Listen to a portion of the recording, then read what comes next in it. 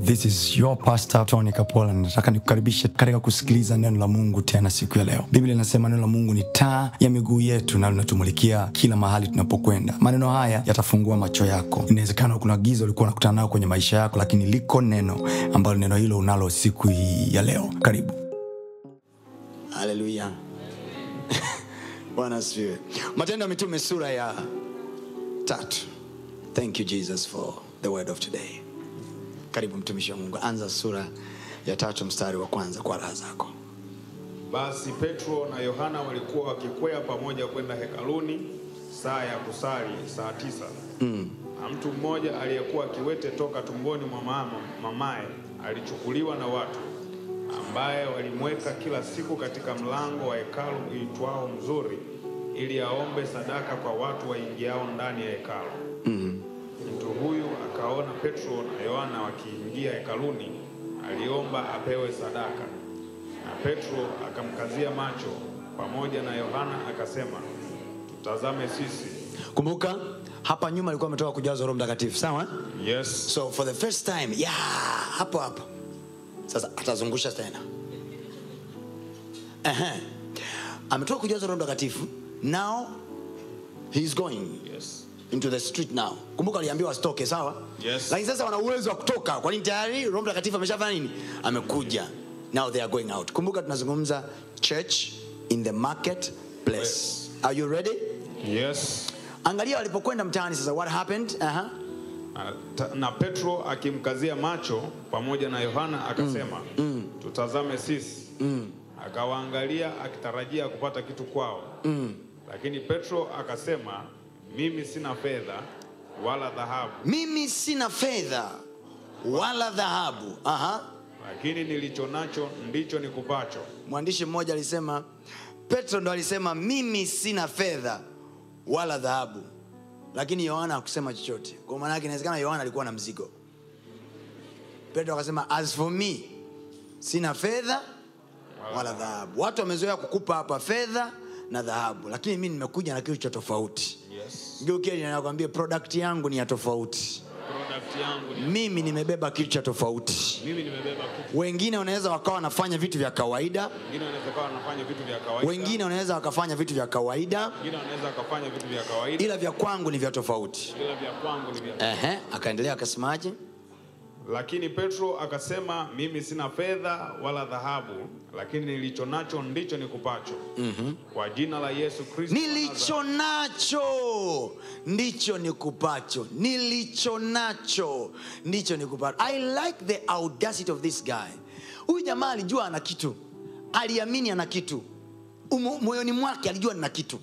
You, you see when you know in your knower that i carry something the assurance is so much yani hawa jamaa imani yao mimi ilikuwa inaniumizaga kichwa yani they were so sure we carry something imagine kama mentality zetu sisi wote humu ndani Yes. tukawa na akili ya namna hiyo kwamba sisi kuna kitu tunacho Yes. kwa hicho kitu tunaenda nacho sokoni Yes. kwa hicho kitu tunaingia nacho madarasani Yes. hicho kitu tunaingia nacho kwenye ofisi zetu Yes. sema nilicho nacho Nilicho nacho.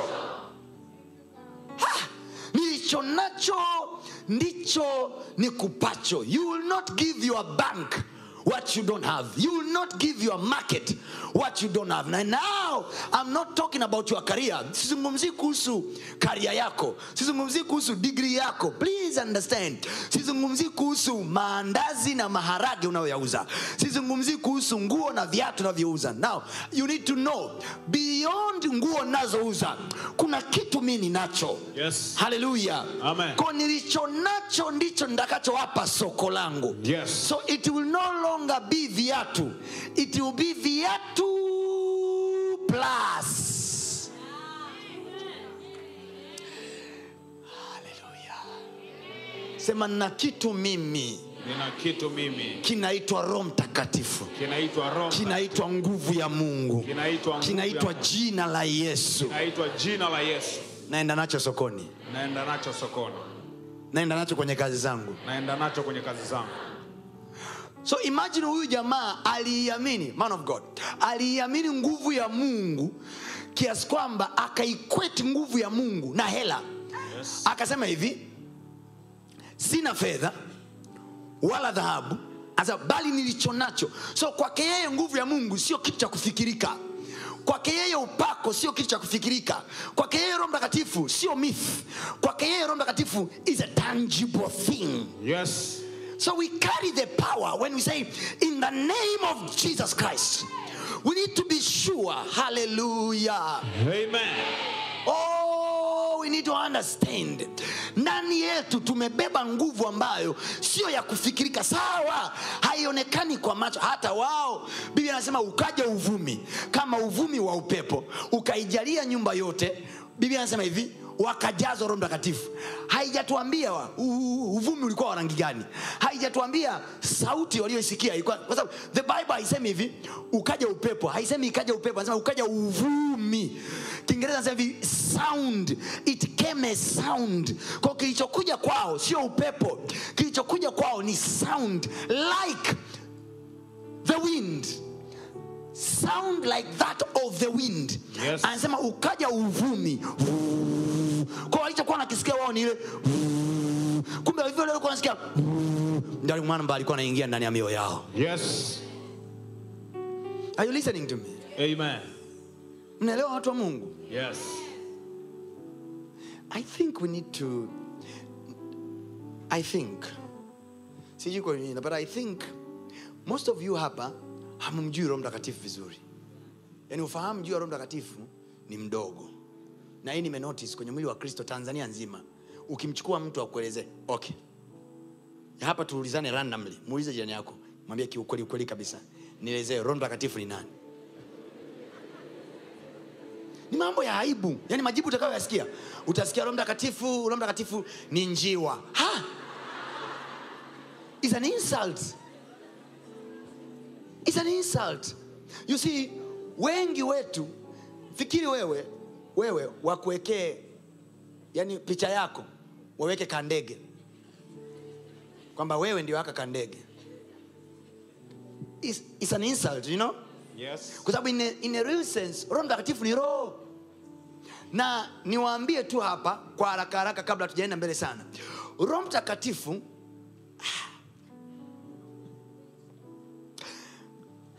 we need time to learn about the holy spirit. Yani hizi ni basics ambazo watoto wa mungu wanapaswa kuzijua. Kama hatuzijui tutapigwa. Tutapigwa. Yani tutakuwa tunasubiria watumishi waje watamkie pokea. Alafu tunapokea. Lakini tunatakiwa tuingie naye mtani alafu roho mtakatifu atusaidie kufanya show kitaa. Yes. watu walimpokea roho mtakatifu one time. Mara moja tu akawapeleka mpaka ikulu. Biblia anasema hivi samueli akachukua pembe ya mafuta akampaka daudi. Biblia anasema tangu siku ile roho wa mungu akaja kwa nguvu juu ya daudi tangu siku ile. Tangu siku ile roho mtakatifu alivyokuja akaanza kumexpose daudi kwenye matatizo. Sema kwenye matatizo. Kwenye matatizo. Kwa sababu kwenye kila tatizo ndo kuna ulaji wa mtu. Roho mtakatifu akuexpose kwenye ple- pleasure when the holy spirit will be upon you you will expose into to issues. Kwa sababu anataka kutumia nguvu yake kusolve issues ili ubaki peke yako. Biblia anasema daudi akapelekwa akapelekwa nyikani anaenda kuchunga. Siku moja baba yake akamtuma kwenda kuangalia ndugu zake. Alipofika kuangalia ndugu zake akamsikia goliati anatukana. Huku ndani roho mtakatifu anachemka. Haleluya Amen. nikwambie kitu. Yes. Kila goliati unayemwona kwenye maisha yako yuko hapo ili akuexpose kwa mfalme. Goliati sio tatizo kama unavyofikiri. Goliati ni platform. Yes.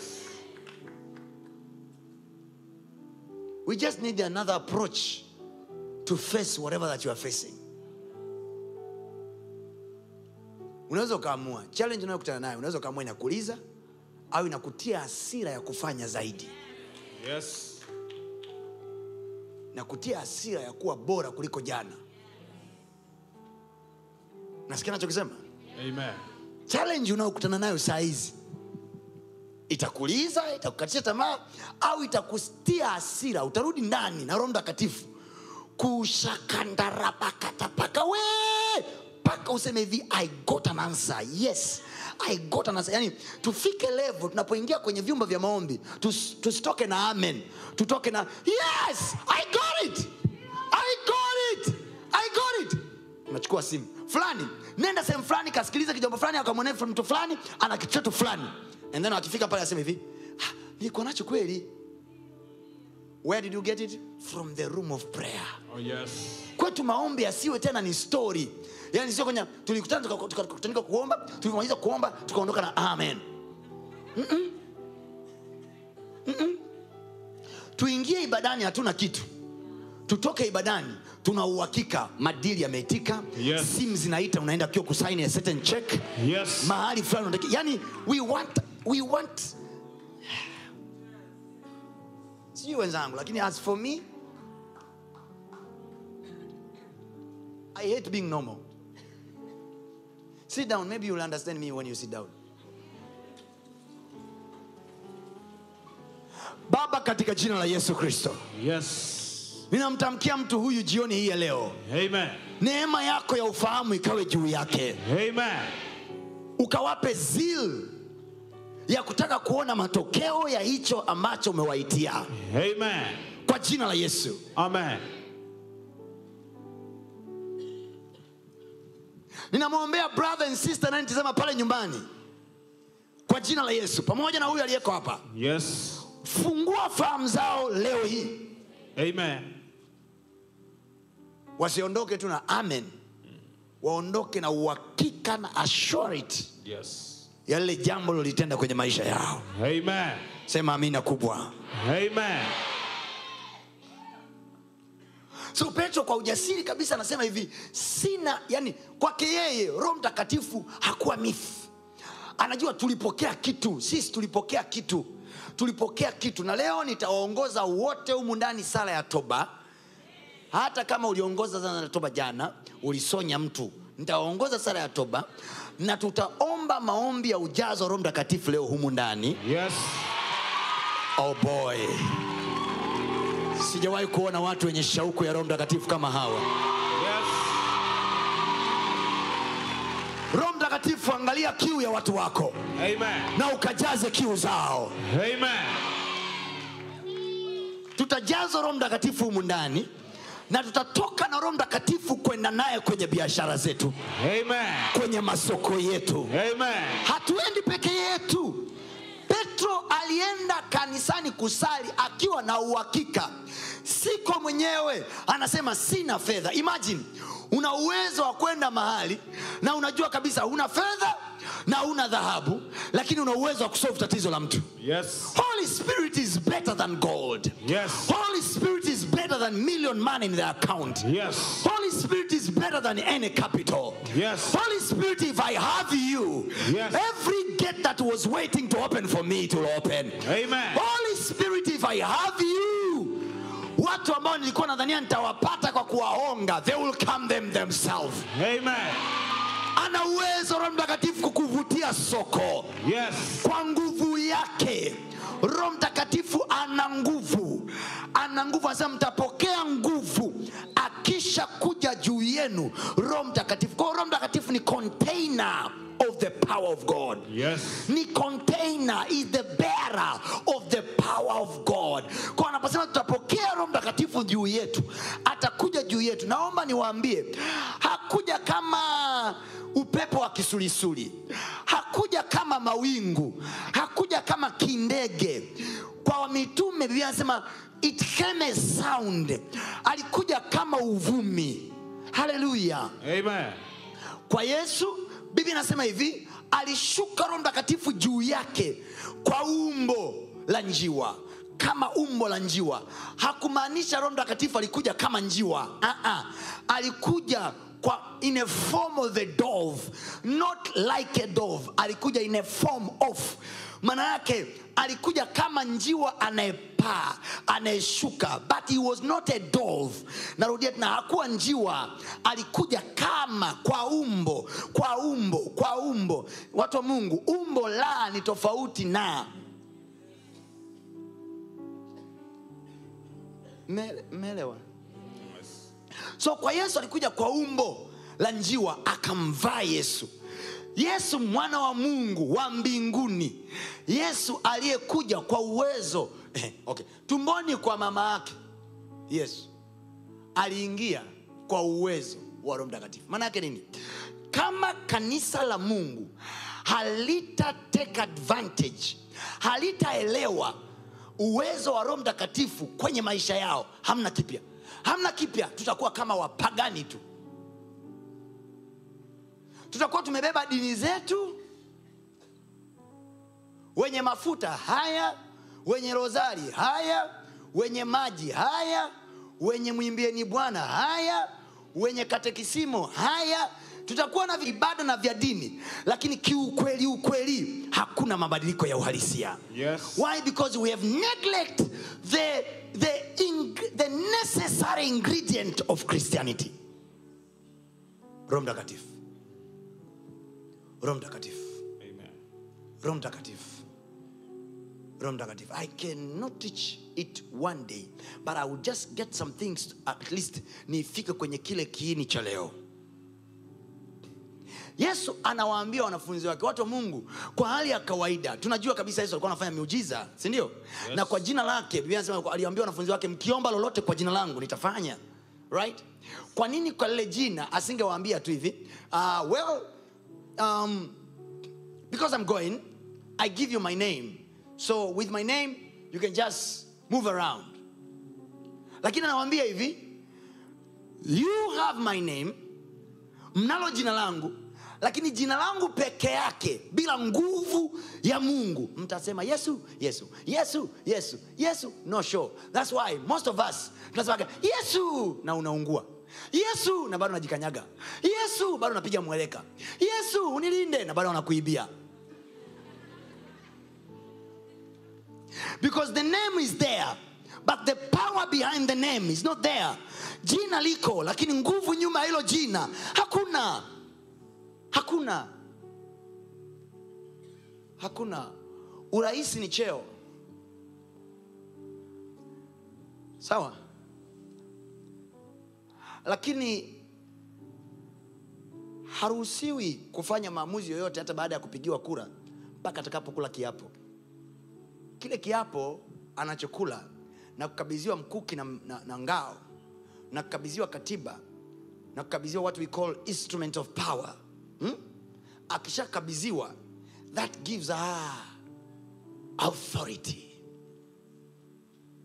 ko ni kweli kabisa tulimchagua kwa kura si ndio? Yes. lakini kabla ya kiapo rais aliyeko madarakani ataendelea kukaa madarakani mpaka huyu atakapoapa kiapo. Sababu kile kiapo ndio kina initiate in the power. Kinampa sasa authority. Kwa hiyo hawezi ku wanasema few days before barack obama getting out of the office siku ambayo wanajua kabisa trump ameshachaguliwa na wananchi anakaribia kuapishwa kile kipindi ambacho trump anakaribia kuapishwa na barack obama anakaribia kufanya exchange of power wanasema kile kipindi barack obama alisign so many treats that made america got a lot of losses.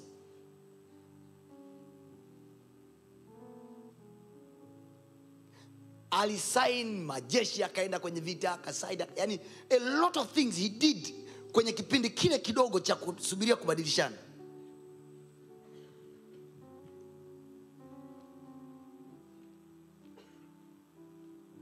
inaweza ikatengenezwa miswada pale inaweza ika- ika- vikasainiwa vya kusainiwa. E, vinaweza kwa sababu gani? Kwa sababu power haijaachiliwa.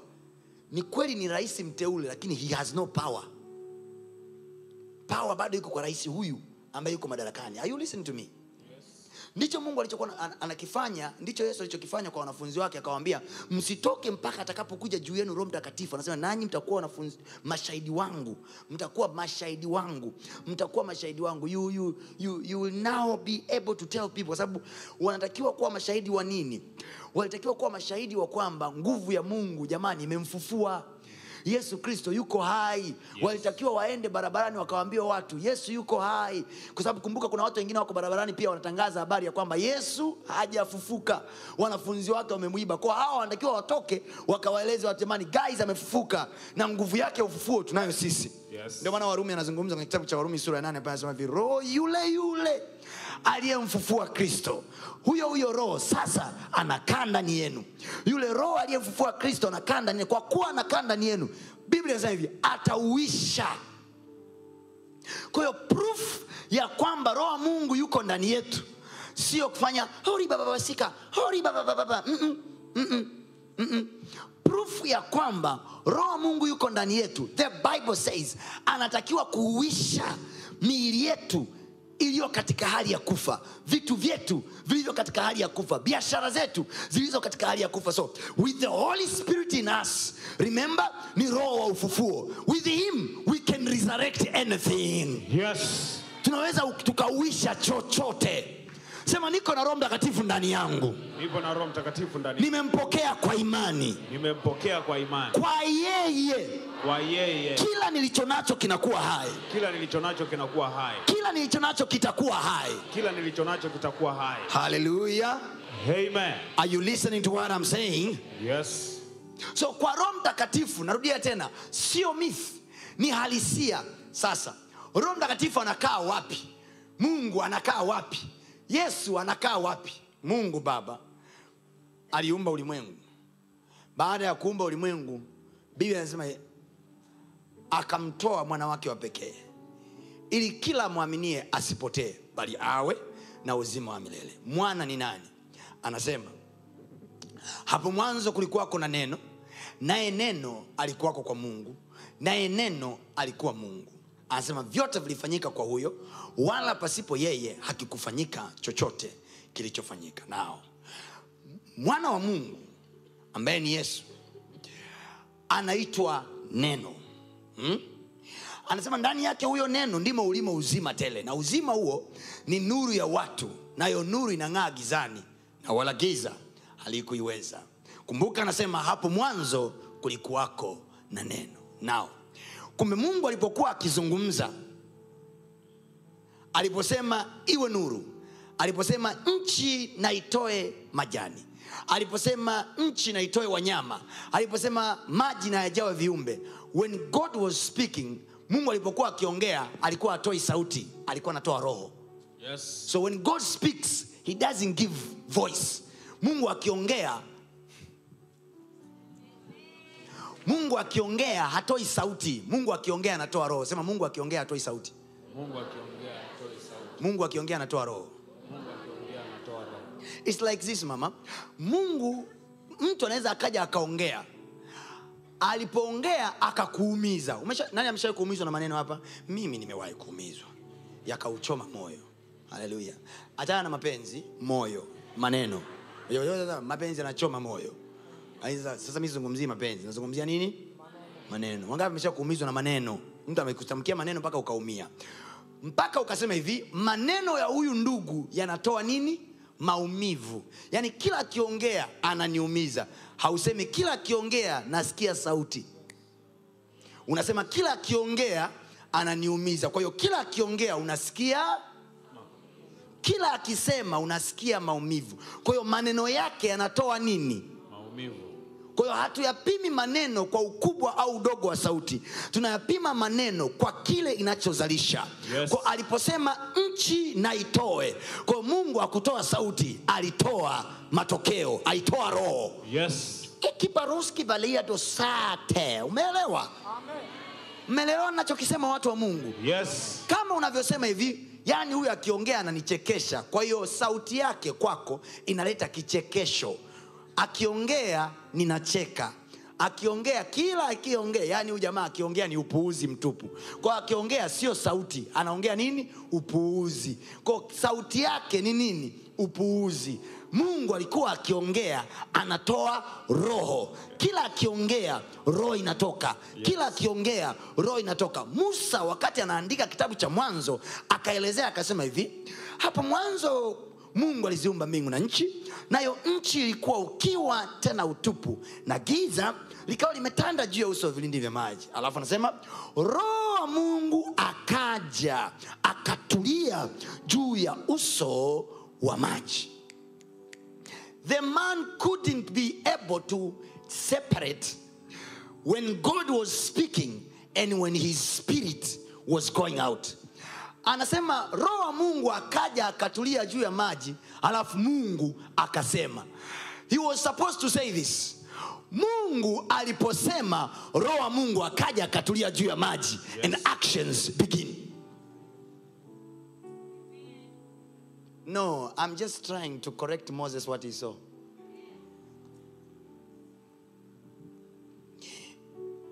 okay kimjazacho mtu ndicho kimtokacho so mungu atoi sauti. Ndani ya mungu iko roho yake. Kwa alipoongea kilichotoka ni roho yake. Kwa hiyo musa anamuona anaongea anaisikia sauti yake akisema lakini at the same time anaiona roho yake iko juu ya uso wa vilindi vya maji. Nataka uone kuanzia jioni ya hii leo Yes. kwamba kila nitakapozungumza yes. roho inafanya hivi. Amen. Okay. Natoa mfano. Nashukuru mungu nahubiri njini nikiwa bado kijana kwa sababu inanipa nafasi mama. Nanipa nafasi ya kutumbukia ndani ya kikapu. Ningekuwa libaba jitu zima ningefundisha kistaarabu. Haleluya. Lakini sasa amenikatisha tamaa basi. Nitaka niwape bunge la example. Can i example you? So I want in your mind from today, when you pray, realize this kwamba every time roho mungu alisipokuja ndani yangu akakaa ndani yangu haishi. Na when i speak hatoki, haitoki sauti. When i speak the spirit of god move through my voice. Remember matendo ya mitume anasema hivi walisikia sauti kama uvumi wa upepo. Haleluya sauti kama uvumi wa upepo. Kwa hiyo hata alipoingia kwa mitume hakuingia kama dude fulani lina mabawa. Dude fulani imevaa nguo nyeupe. No the bible says it came as a sound. Kwa hiyo roho mtakatifu akienda hapa haendi kama dude fulani lina mabawa. No he goes as a sound. So when i speak out the spirit of god moves in my sound. He, go, he is going to kariako in my sound. Anaingia mtaa wa agre mtaa wa sikukuu. Mtaa sijui wa wapi mtaa wapi. In my sound. So when i say grasho la baraba the, speak, the, the speaking of my mouth the voice when the voice goes out the spirit moves in my sound. Holy spirit is moving in my sound. Jegobarata lagazaga irando la bareka plashoga mandegladezo erashakaga ilesta prakadai. Yale sio maombi.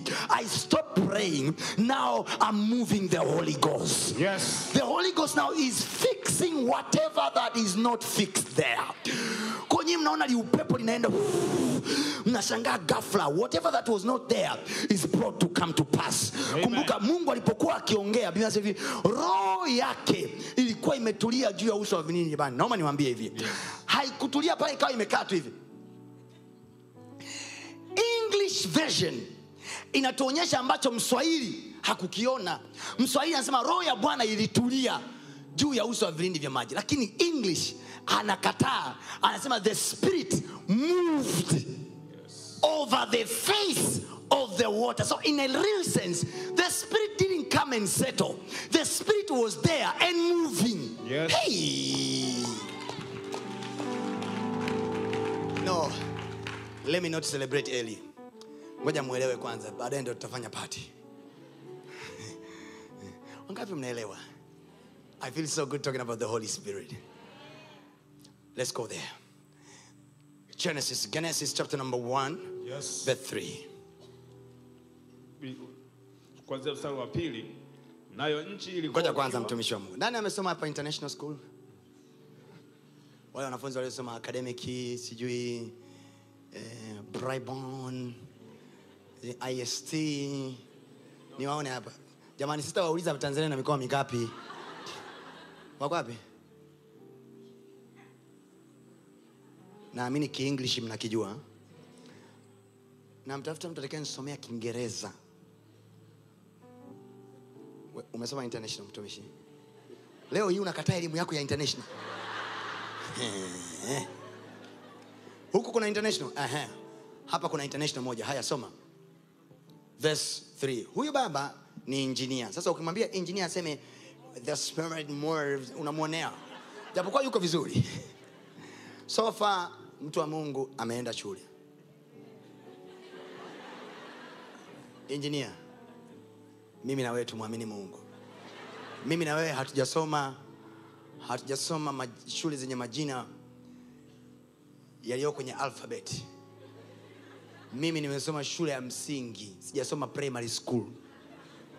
Nimesoma shule ya msingi. Inaitwa kitopeni shule ya msingi. Iko lushoto.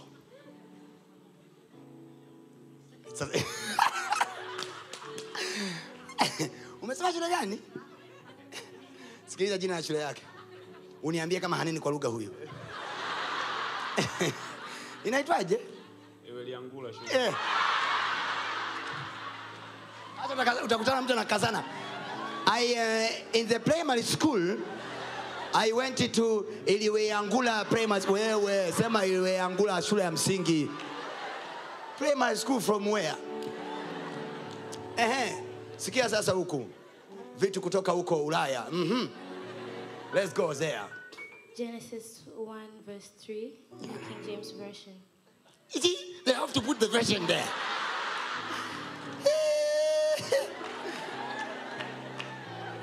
Binti, ukirudi nyumbani leo, mpe baba yako shilingi elfu thelathini. Mwambie baba, hii ukale tu makange mahali. Ehe, tuendelee. Then God said, mhm. Let there be light. Let there be light. Now, I want you to go verse number two. Verse number 2 The mhm. earth was without form and void. The earth was without form. Nitatafsiri jamani, waswahili wenzangu, msipate pressure. The earth was without form. Kuna maana sana watu wa Mungu kusoma hivi hii mistari Kiswahili na Kiingereza kwa sababu kwa sababu kuna misamiati mingine inaminywa kwenye Kiswahili kwa sababu Kiswahili wakati Biblia inatafsiriwa Kiswahili kuna misamiati ilikuwa haijavumbuliwa bado. Kwa mfano, sasa hivi misami- misamiati ya Kiswahili imeongezeka. Amen. Imeongezeka sana. Imeongezeka mno. Kwa mfano, badala ya kusema anyway, tuendelee. No, nilikuwa nawaza kwamba itokee kwamba Paulo na Barnaba Biblia anasema Paulo na Barnaba wakaachana, lakini haikuelezea kwa nini waliachana. Ingereza anasema the conflict breakout among the apostles. Kiswahili cha sasa ungetumiaje? Walizinguana. Lakini mwandishi wa bibilia wa zamani alikuwa ameokoka sana, alikuwa anaona kutumia neno wamezinguana ni kuzalilisha bibilia Haleluya! Tunaangalia huko mbeleni, tunaweza tukafanya kitu. Yes, mamzungu twende. The earth was, uh, was without form and void, and darkness was on the face of the deep. And the Spirit of God was hovering over the face of And the the. Spirit of God was hovering. Lile neno hovering, Google. What's the meaning of the word hovering? Other versions wamesemaje? Moving. Si ndio?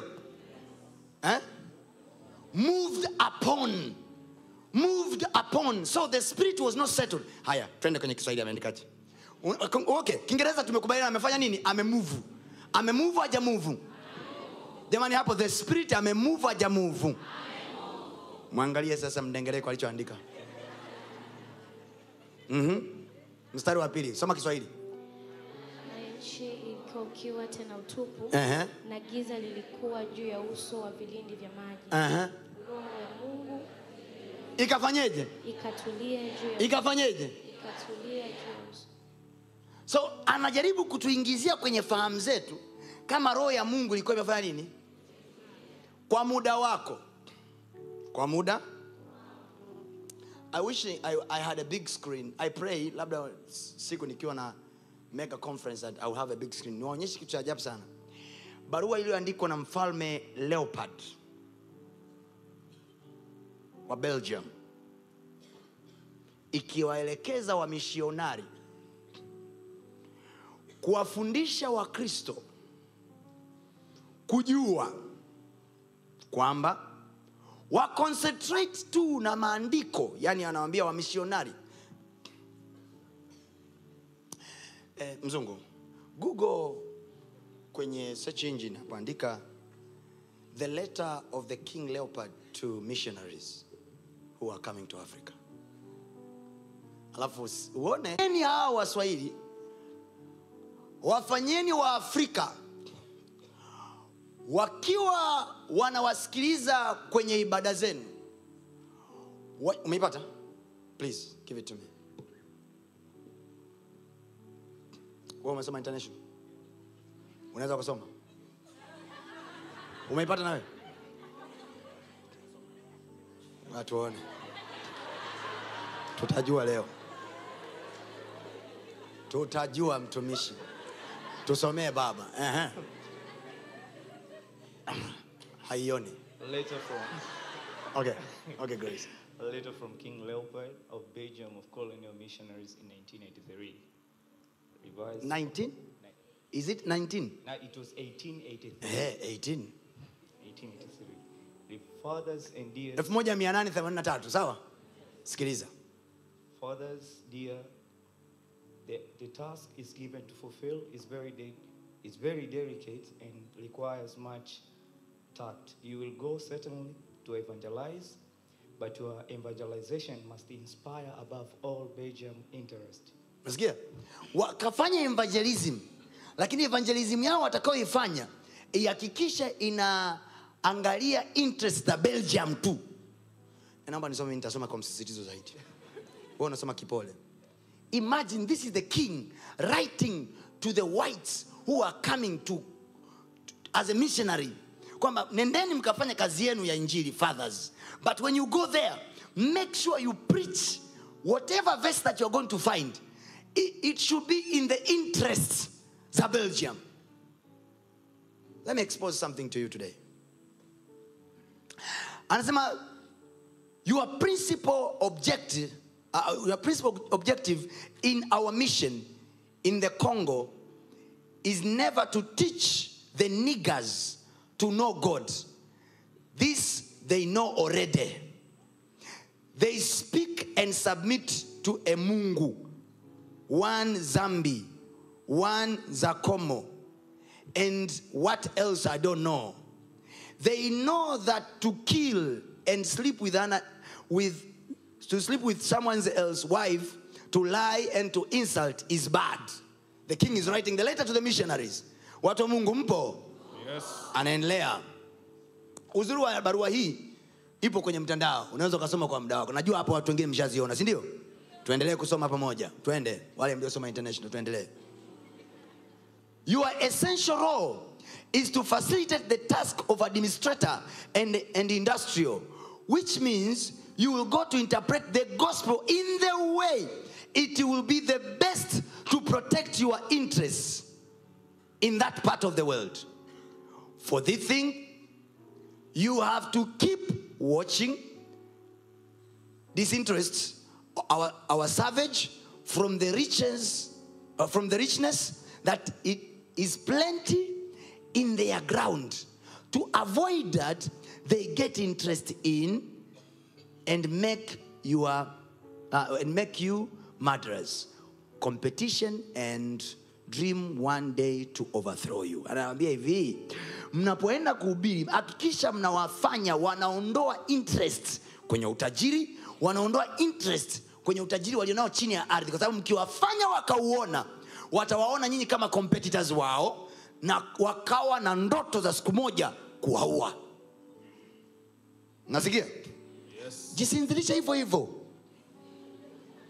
afu anze kusema baadaye oh, mimi sioni hela oh, mimi maisha magumu oh, nataka kujiua tunakuchapa makofi ndo nakufa kwanza your knowledge of the gospel will allow you to fix uh, I mean, to, fi- uh, to find text ordering and encouraging your followers to love what?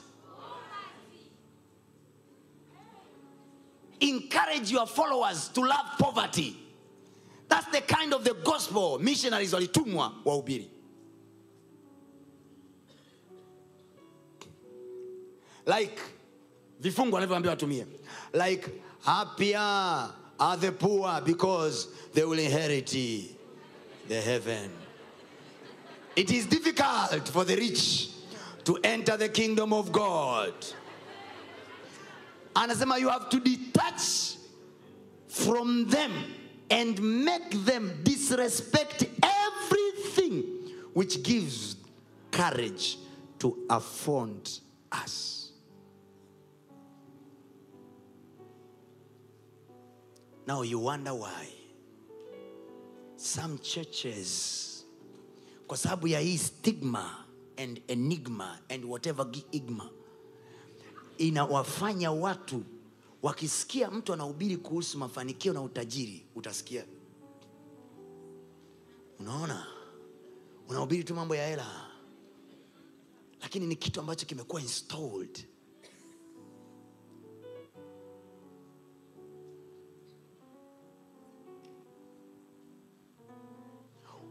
Hivi unajua huyo huyo aliyesema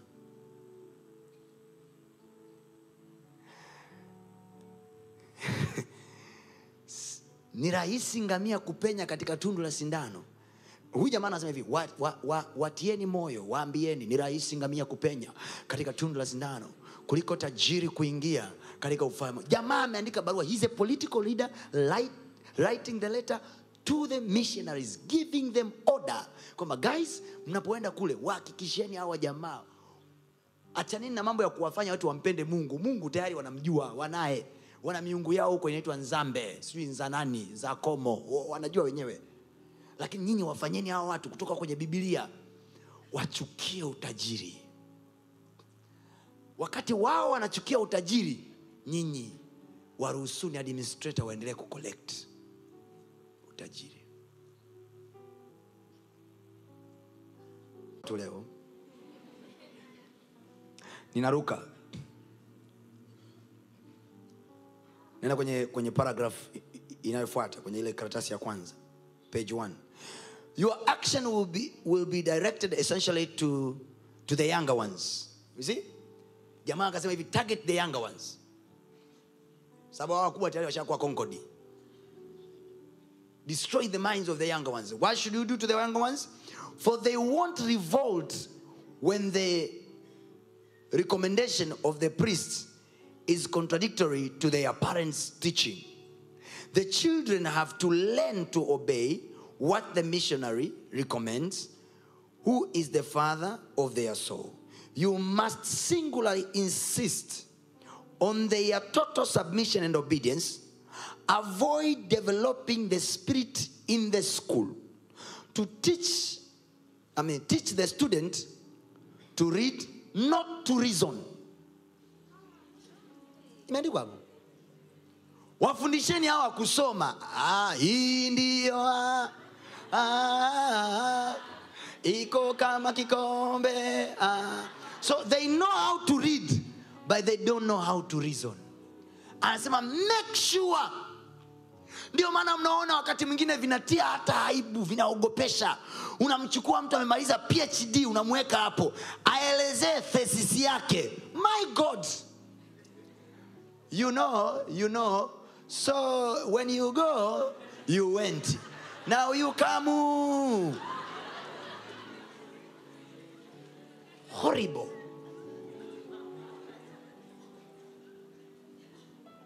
Nienda kwenye mkutano mmoja wa airlines na sitasema ni mkutano gani. And suddenly umeme ukakatika. Na kulikuwa na wageni wa nchi nyingine. Speaker alikuwa ni one of the prominent engineers an engineer. Akasema guys don't worry. Haya ni mambo ya kawaida. This is africa. Really? It was so okay kwake ni business as usual. Alafu kumbuka ilikuwa ni forum. Ambayo wanazungumzia maendeleo ya tasnia yao and hapo hapo nasema this is africa. So what are we doing? Teach them to read. Tebo ya pili inasemaje? Mbili mara nne nane mbili mara sita kumi na mbili mbili mara saba but you don't reason.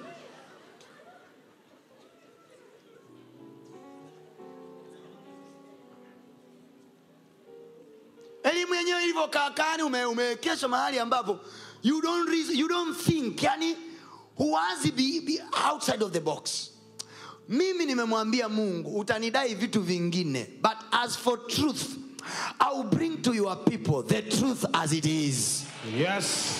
Let me teach you today about the holy spirit Amen. akiingia ndani yako anakufungua kuona impossibility Yes. kama kuna ukuta anakupa kuona beyond the wall Amen. daudi anasema kwa nguvu zako bwana wangu ninaupandia ukuta maana yake to me when i have god the wall is nothing Yes. put any kind of wall anasema by you oh lord i leap over the wall Amen. you'll see me another side say put any wall but you'll see me another side hallelujah Amen. hallelujah Amen. so now remember roho mtakatifu alipokuja kwa mara ya kwanza alikuja kama sound hapa yote haya nimekusomea hayo mambo ya huyo bwana. Hii kukuonyesha kwamba biblia imezungumza roho mtakatifu was moving was moving. Alikuwa na move over the face of water. Kumbuka dunia yote imejaa nini? Maji. So roho mtakatifu hana pa kukaa. Inabidi tu atembee juu ya maji. So when god was speaking mungu alipokuwa aki- akizungumza roho mtakatifu alikuwa na move. Akimove kulifuata lile neno.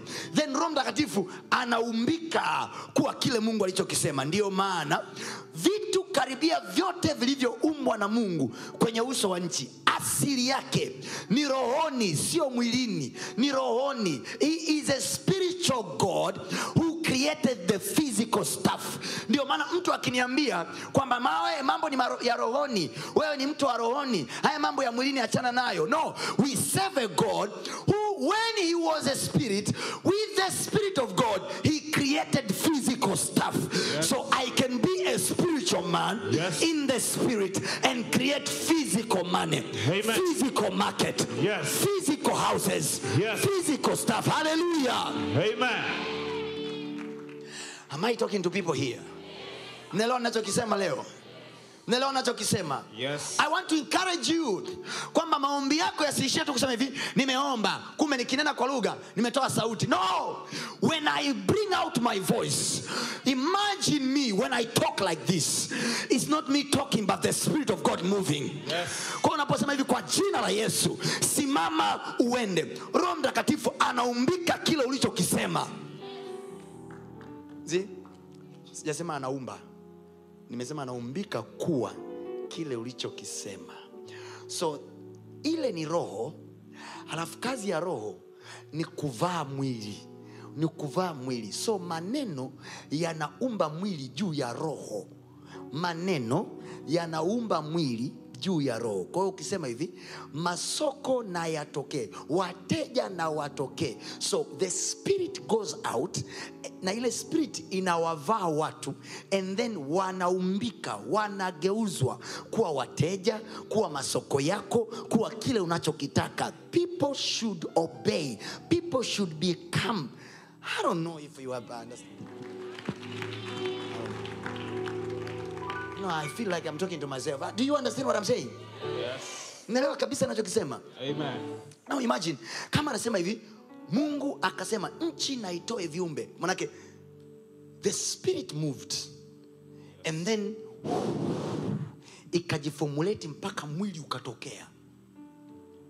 So kila kiumbe kilichoumbwa na Mungu kina roho ndani, kina portion of the spirit. Hello? Yes. listen to this kama mungu ni roho na vile alivyo viumba vyote vina roho. Vyote vimeshiriki roho. Ndio maana anazungumza kwenye kitabu cha wakorinto cha, cha, cha, cha warumi sura ya nane anasema viumbe vyote vinaugua vinaugua kwa shauku vikisubiria kufunuliwa kwa wana wa mungu. Kwa nini? Kwa sababu kwa asili hii viume vilichukuliwa mateka. Asili yake vyote vimetokana na mungu. So they want to work in the purpose mungu aliyowaagizia. Paka anatakiwa tu abaki kulia nyau paka asitumike kama uchawi Lakini devil now is using paka anaingizia spirit wachawi na waganga wa kienyeji. Because they know how to work with the spiritual things anaweza akamchukua paka akamsemesha maneno akamsemesha maneno mpaka paka akavaa spirit akavaa spirit na paka akaagizwa aende nyumba fulani au akaachwa nyumba fulani akaanza kulia ngwa we unasema analia nyau lakini kuna maneno na profess kuna maneno anaongea from the man aliyemwagiza akaseme. Wakati mganga anayafanya hayo alitakiwa awepo mwingine akiziangalia kunguru zinapaa juu namna hii. Anasema i put the spirit of the lord upon those crowd. Yes. ile uh, ba- those bedders.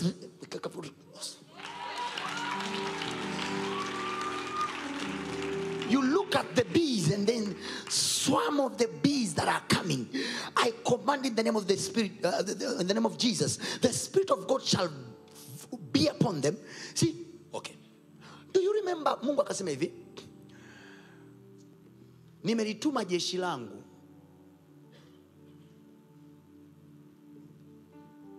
Likaiharibu misri. Jeshi lake mnalijua lilikuwa ni nini? Nzige vyura chawa. Imagine vyura hawaendi nchi nyingine yoyote. Nchi ile na mipaka vyura hawaruki mpaka wa mwingine. Wanabaki hapa hapa. Yaani wakifika mpakani pale pim, wanaenda wanaenda wanafika mpakani hapa pem sio huku. Pam pam. What was in those vyura kiasi kwamba gosheni wanaiona. Gosheni ilikuwa ndani ya misri. Yes. gosheni ambako walikuwa nakaa wayahudi ilikuwa ndani ya misri. Lakini vyura hawaingii gosheni walikuwa wakifika gosheni kwenye mpaka wa gosheni na miji mingine ya israel wakifika pale wafanya pam mm, sio huku. Wam farao yuko wapi nzige wanaenda wakifika hapa wanafanya what was that it was a spirit in the beds spirit in the locust spirit in the frog. The spirit can be in among things and can be directed what to say. Yes. mnawahi kuishi kwenye miji yenye mabwawa au madimbwi alafu mnapita usiku mnasikia krrrr, krrrr, krrrr, krrrr. sio kila unachosikia wanalia krrrr, krrrr, ni vyura tu wanalia. Wako vyura tu wanaolia kama wanalia lakini wako vyura ambao wanalia because wana maagizo ya kiroho nikufundishe maisha wewe kuna mende wengine I don't know if you remember this testimony Morogoro, ambaye kuna dada mmoja alikuwa a- aki hata afunike vyakula vipi atakuta mende tu. I don't know if you remember that testimony. Mende everywhere until the day we spoke a word, mende wakakauka. How can watu wa Mungu, how can a snake hmm? how can a snake fimbo imesimamishwa namna hii? Unafahamu tukizungumza sisi sasa hivi unaza mm, ila watumishi wa siku hizi jamani. Yani kavaa na suti kabisa anazungumza habari ya vyura. Lakini kufikirishe musa anaenda mbele ya farao kwa ujasiri kabisa. Anamwambia hivi mungu anasema waachie wana wa israeli waende. Usipowaachia kesho bwana ataleta vyura. Now remember ni nchi ambayo ni safi hakuna wadudu hakuna madimbwi hakuna kitu chochote. Na farao siku ile wakati anaambiwa bwana ataleta vyura alijua mungu anapiga biti. Mgeukie nakwambia mungu apigi biti. God does not bluff. When he says nitaleta vyura eh, analeta vyura. Yes. god is not bluffing. Whatever he says that's what he will do i save that kind of god. I say i save that kind of god. Amen. if he said i will bless you he's not bluffing. He will bless you indeed. Yes. if you say i will rise you he's not bluffing. He will rise you indeed. Yes. say my god is not bluffing. My God is not bluffing. mungu apigi biti hajitutumui apigi mkwara. Mbinguni hawachimbi mkwara. Mbinguni anakuambia kesho nakuletea vyura. Wanakuja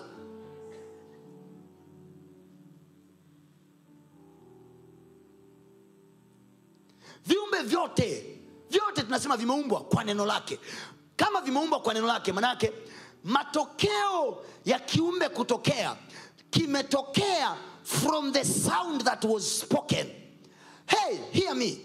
Kama vyote vimefanywa kwa neno lake narudia chochote mnachokiona kimetokea after the sound was given out. So when we thought god was just talking kumbe god in his sound he was giving a spirit of a thing Yes. mwili huua bali roho huuisha. Kuna kinachokipa kinachokipa uhai kitu ni roho iliyoko ndani yake. So roho iliyoko ndani ya kitu roho iliyoko ndani ya chura ndo inafanya chura anakuwa chura. Roho iliyoko ndani ya panya ndo inafanya panya anakuwa panya. Roho iliyoko ndani ya paka ndo inafanya paka anakuwa paka. Roho iliyoko ndani ya mti ndo inafanya mti kuwa mti. So when god was speaking again narudia. When god was saying let there be trees he was not just giving out sound. He was giving out spirit of the tree. Yes. now this is the reason why kwa nini mpaka leo hii mnaona watu wanaabudu miti? Watu wanaabudu miti kwa sababu ndani ya mti kuna a portion of a spirituality ndiyo maana wanaweza waka access kipande cha mti kikawaletea matokeo kwa sababu wali inquire the spirit in the tree. So the spirit in the tree ambayo iliachwa na roho mungu. You understand? Yes. the spirit in the tree now is coming out to help them.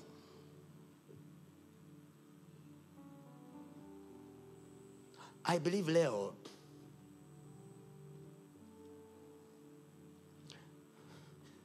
wenyewe the, the spirit the spirit in the tree. Kwa mtu anaenda pale kwenye mti anafanya risho in the tree. Anachokifanya pale anafanya a rousing of the spirit. Anaiamsha roho anaiamsha roho until that spirit inaanza kumvaa inamuaffect na mungu hakutaka sisi tuipokee roho yake kutoka kwenye vitu. Radha tuipokee roho yake kwa imani kutoka kwa yesu kristo. He wanted us to receive his spirit direct from himself.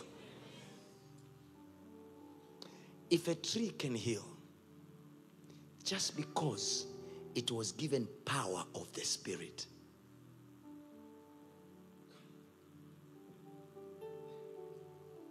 nikiwa nazungumza jumapili kuhusu roho mtakatifu nitaongelea pia spirits of the city a little bit and spirits of places mmewahi wale ambao mmekulia vijijini kama mimi mmewahi kupita kwenye mahali ambapo mji mzima mnaambiana hey, ule msitu mbaya sana hey, kile kichaka mbaya sana ah, usipite pale usiku hey, mshakusikia hizo stories? Au ukipita mahali hata kama ni mchana kuna kieneo ukipita kwenye msitu au mti. Yani mwili wako wenyewe ni mchana. Hakuna mtu mwingine lakini kuna namna mwili wako unasisimka.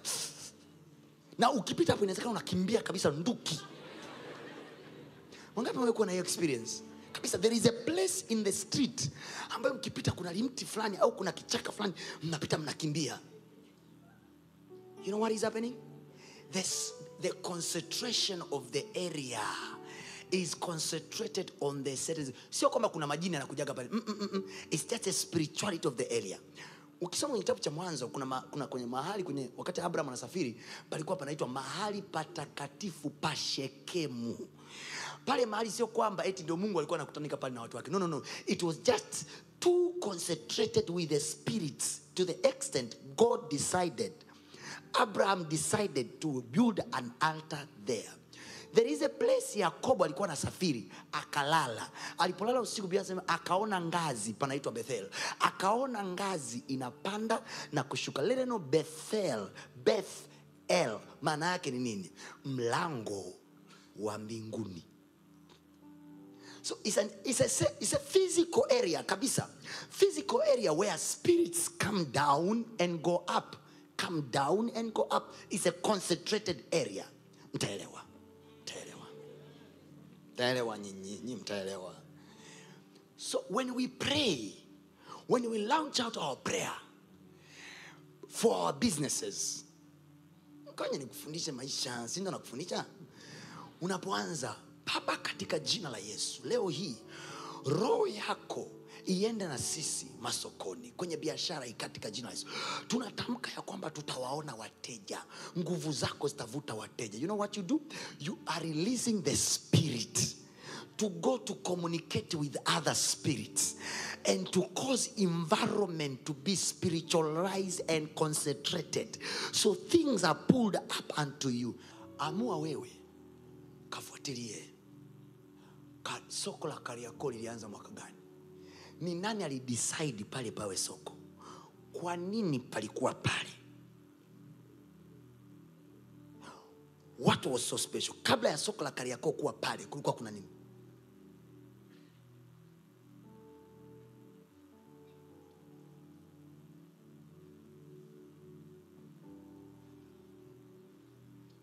Vitu havijajiweka.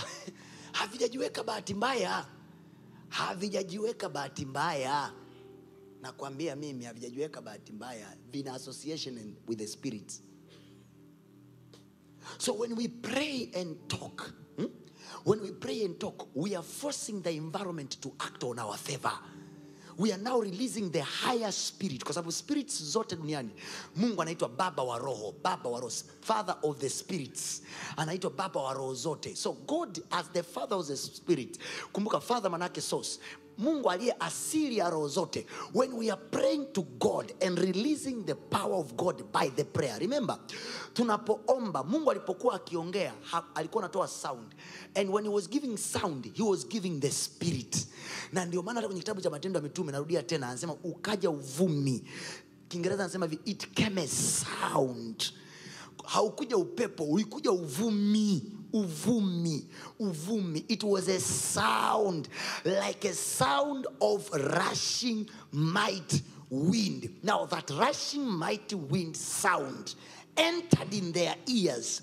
Ile sound ilipoingia kwenye masikio yao it causes them to react in a certain way because it didn't come just as a sound. Haikuja tu kama sauti. Haukuja tu kama uvumi. Ulipoingia ndani ya masikio yao uliwasababisha waanze kutenda kwa namna nyingine. Kwa nini? Kwa sababu kuna spirit ilikuwa imewaingia. Nisikilize hata majini waganga wa kienyeji wanajua majini yote yanatokana na incarnation. Maneno yanayozungumzwa. Kuna vitu vinaongelewa mpaka dude linavaa kitu So every spirit is following a sound. Yes. Every spirit is following a certain sound. Ha! So when you are quiet, narudia tena, mgeukie ninakwambia ondoa ustaarabu kwenye vita hii. Kama you know, you know, by nature mimi ni mkimya, sipendagi mambo mengi, ni mkimya, endelea kuwa mkimya.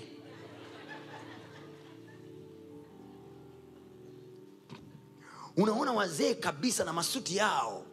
Wamepaki maviaiti nje wako kwenye kibanda cha mganga wanaongelea kibuyu. Kulukuluburubudu,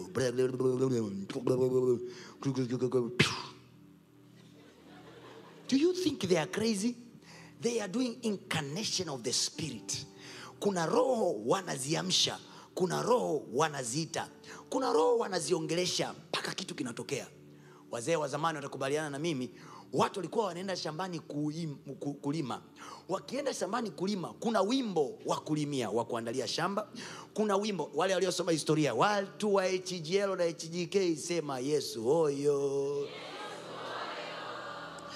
mnafahamu tulisoma kwenye history one eh? watu waliokuwa wanakwenda kwenye ku, ku, ku, ku, kuandaa mashamba kwa asili miaka ile ya zamani. Kulikuwa na nyimbo za kuandalia mashamba nyimbo za kupandia nyimbo za kupalilia nyimbo za kuvunia. Kila wimbo ulikuwa unaamsha a certain kind ya morali. Unaelewa? Hata jeshini ili watu waende kupigana vita kuna wimbo huwa unaimbwa kuna nyimbo zinaamsha morali. Ile morali ya watu inaamka unafikiri ni morali kwamba mzuka tu? No! Spirits are energized by a certain sound. Kuna sound ikiachiliwa spirits are energized. Do, no, do you know the highest wave on earth? The highest wave on earth is the sound wave. The magnitude of the sound wave hi- hiyo ni physics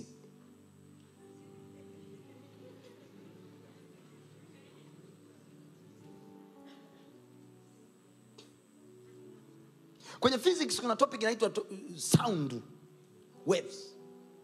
Okay kuna waves alafu kuna topic inaitwa sound. Alafu kuna sound waves.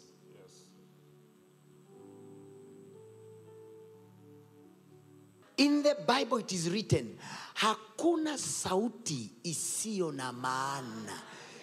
Kila sauti ina maana. Kindege ukisikia kinalia chui chui kinamaanisha kitu. Mpaka ukisikia nalia wau wau wau kuna kitu anamaanisha. There is a sound and every sound has a certain meaning. Ninatamka kwa jina la yesu. Amen. Mahali popote kwenye maisha yako Yes.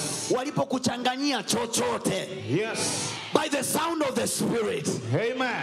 leo hii utatamka kwa maneno yako Yes.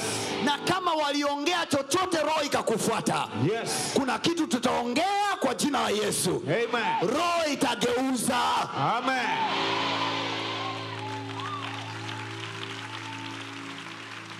please follow me the sermon of today can change completely your financial life. Yes. kuna uhusiano mkubwa kati ya hela na roho. Ndio maana watu wanatafuta hela kwa waganga. Watu wanatafuta hela kwa mashetani. There is a high level of connection. Ni wewe tu unajifanya mstaarabu you know, mimi mimi sitaki vita na mtu mimi. ndio, ndio maana upole wako unafanana na akaunti yako.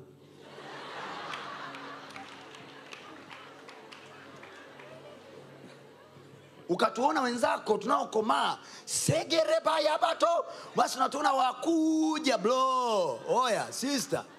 Changamka mjini hapa. Geukili nakwambia good morning to you. Life has begun want us mungu atusaidie. Tunapoanzisha chochote kwenye maisha yetu Yes. watoto wetu wavikute. Amen. watoto wetu wavikute. Yes. ni makosa sana. Kuanzisha biashara leo imekufa. No. No.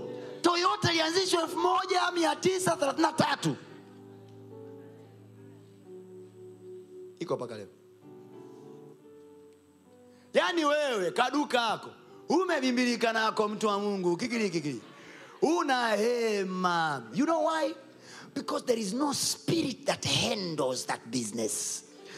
Listen to me. Lazima kuwe na roho iko nyuma. Anasema ndi, roho ndiyo itiayo uzima. Mwili haufai kitu. Kwa hiyo ukitengeneza duka zuri likawa lina urembo wandewa siku wakija they will take the spirit behind the shop It's not about the beautiful shop. It's about the spirit behind. Kwa sababu siku wakianza kuiataki hiyo shop yako, wakianza kuataki hiyo kazi yako, ndio maana mnaonaga siku nyingine mi hapa naamwaga kugonga jinzi na tisheti kuja na ubiri. Unajua kwa nini? Kwa sababu unaweza ukatia suti kali kama mtumishi, wana wakikutumia skadi, tutajua una roho au una suti tu. Ishu sio suti mtu wa mungu ishu sio suti. Issue ni the spirit behind it. That's why jesus was carefully to tell his disciples msitoke mpaka atakapokuja juu yenu. Watch at peter. Anatokea mtaani kwa mara ya kwanza sasa. Anaingia kitabu. Anasema bro waliopita hapa wote wamekupa hela. I have something else. Yes. i have something else. Yes.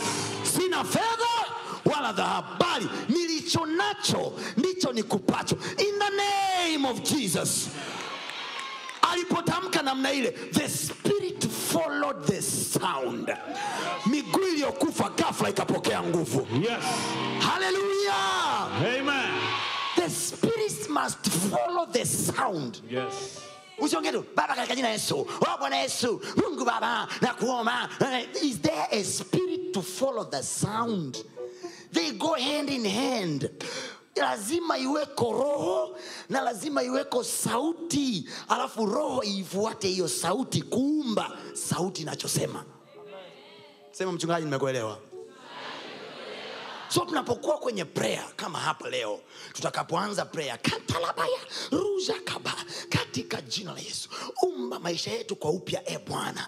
Biashara zetu ziumbike kwa upya. Ninamwaga roho yako juu ya biashara yangu. Usione shida kusema roho wa bwana vamia biashara yangu.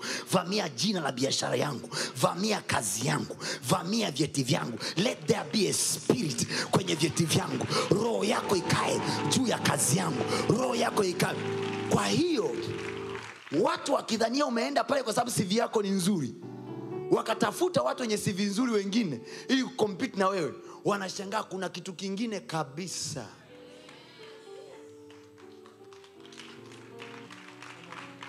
Let me tell you the greatest tragedy of christianity. Watu wengi sisi tunahadithia na wahubiri wengi na wachungaji wengi na wapendwa wengi wanajua stori za bibilia lakini hawajui kilichozifanya zile stori ziwe vile more, more attractive.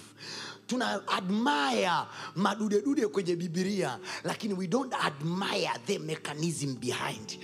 There was the spirit of god behind every mega miracle in the bible. Niwambie hivi hakuna roho wa mungu hakuna bibilia maajabu yote kwenye biblia hayana ishu kama roho wa mungu. Yani the bible minus jesus is just empty book. The bible minus the spirit is an empty book. Kila mnachokiona kimefanyika kwenye bibilia ni kwa sababu kuna lidude lilikuwa nyuma ya hicho kilichofanywa.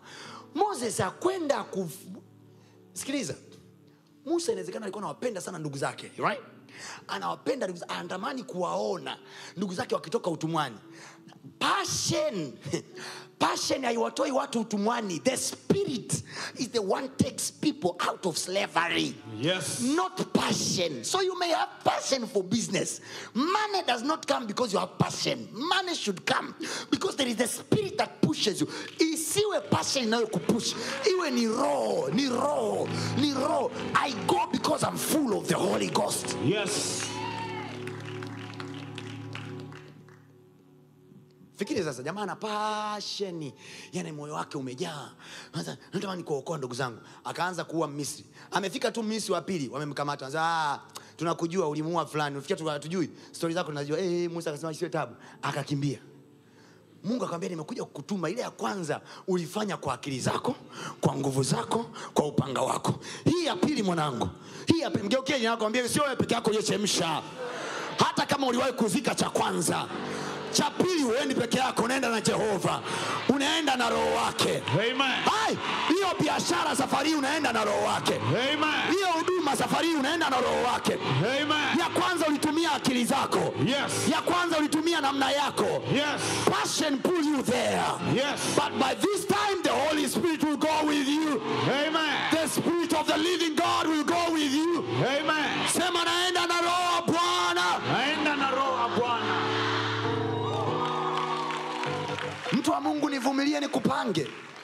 Utatoka mjini hapa na utanikumbuka. Na ole wako hiyo hela ule peke yako.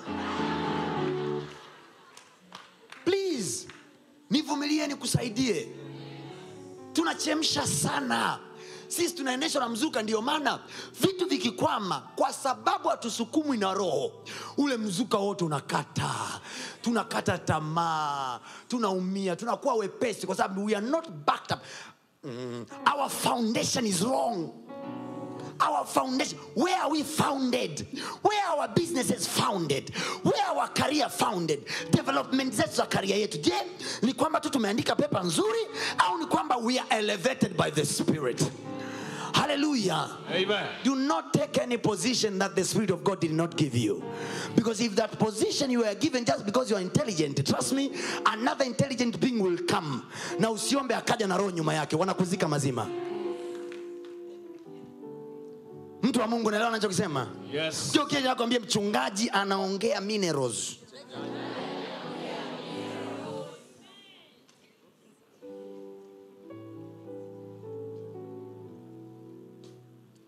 so prayer. Ndio maana kila dini kila dini hamna dini wanaoenda kibubububu. Mm-mm.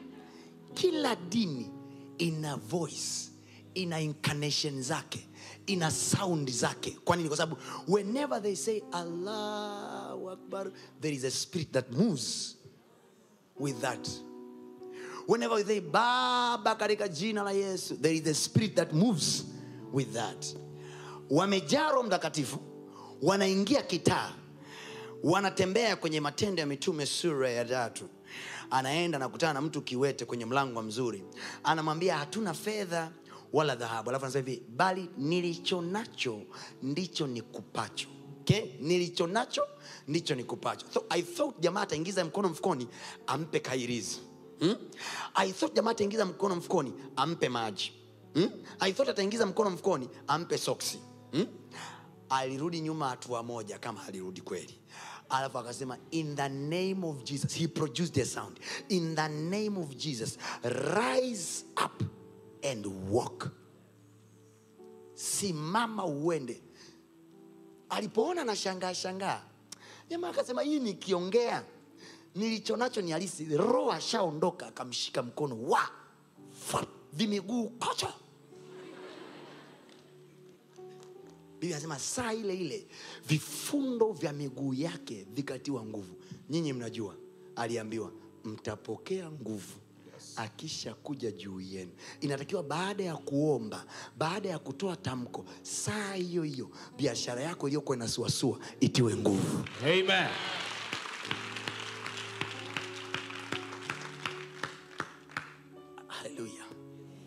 haleluya sema hakuna kukwamba kwenye maisha yangu sitakwama tena kwa jina la yesu.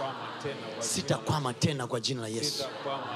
Sema safari nikiongea roho wa mungu ataenda. Na haya maneno.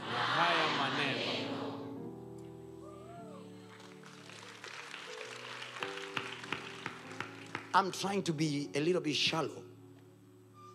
Nisiingie ndani sana nikawavuruga at least for this day let me be shallow a little bit I will go more deep on Sunday but today let me shallow like shallow water spirit spirit spirit behind your business? Is there a spirit behind your moves? Or you are just moving with the strategies? Is there a spirit behind it? The response of God, jibu la Mungu kwa kila changamoto ya mtoto wake ni roho. Sasa, kwa nini Mungu anatupa roho wake? Kwa sababu roho inatusaidia kwenda beyond the norms roho inatusaidia kupush beyond the norms the spirit of god will always find the way mwambie jirani spirit of god will always find the way now please read there chapter number 3 uone kitu hapo cha mwisho alafu kuruhusu uende nyumbani ukale magimbi. Haleluya Yes. so tumekubaliana kwamba when, when god spoke the spirit moved. Yes. sawa? Yes. Kwa- mwambie yako? Sisi tukiongea. Sisi tukiongea. Roho anatembea. Na akitembea anafanya adventure when we have the spirit of god vitu vitatu vinatokea. Mungu kwa neno lake ambalo ni mwanaye. Okay. Okay. yesu anaitwa mwana wa mungu si kwa sababu mungu alikuwa na mwanamke huko juu akazaa naye. Yesu anaitwa mwana wa mungu. Neno mwana ni kama kitu kinaitwa product of so unaposikia mtu anaitwa son of maana yake aliyezaliwa na aliyezalishwa na aliyezaliwa the product of so when you say jesus is the son of god means jesus the product of god ndio maana yesu anaitwa mzaliwa wa kwanza mwanzoni God has only one begotten son. But now God has, does not have only one. Now God has many, including me. I don't know about you, but me, I'm one of them. Sawa? Yesu baadaye anaitwa hivi mzaliwa wa kwanza wa walio wengi. so jesus is no longer the only begotten now he becomes the son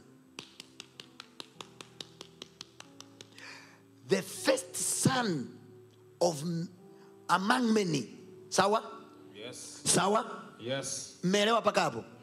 If he is the first son among many then lazima tuangalie hawa wengine.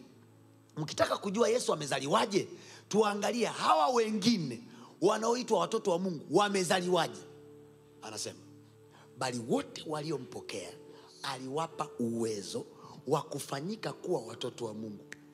Ndio wale waliaminio jina lake. So kuliamini jina lake kinakufanya uzaliwe na yeye. Yes. namna ya pili anasema hivi nanyi mmezaliwa kwa mbegu isiyoharibika yes. yaani neno la mungu. Haleluya. So the word of god produces the sons of god. Ko wote ambao so okay,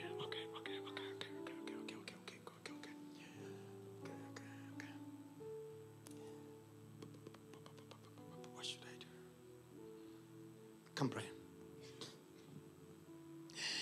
The, kila wakati huyu brother anapolitendea kazi neno that moment ndo anakuwa mwana wa mungu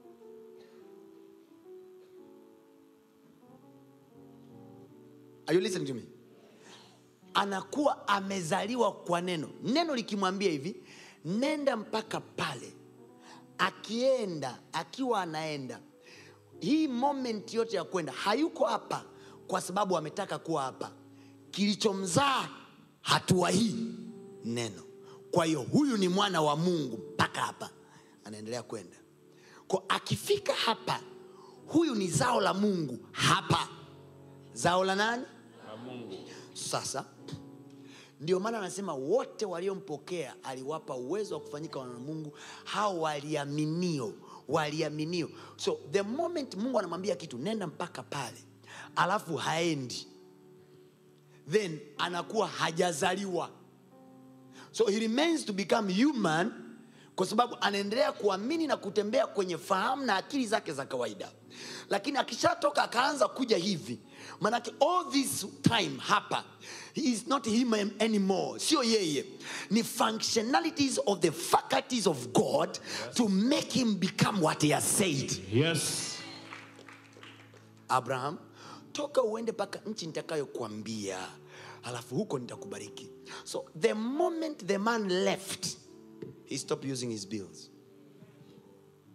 Thank you. alipoondoka tu akaacha kutumia bili zake. Kwa sababu huko kote anakoenda aliyemtuma aende yeye atamsa, atamsaidia. Atampa kila anachotafutwa. Sasa sasa why do we need the spirit?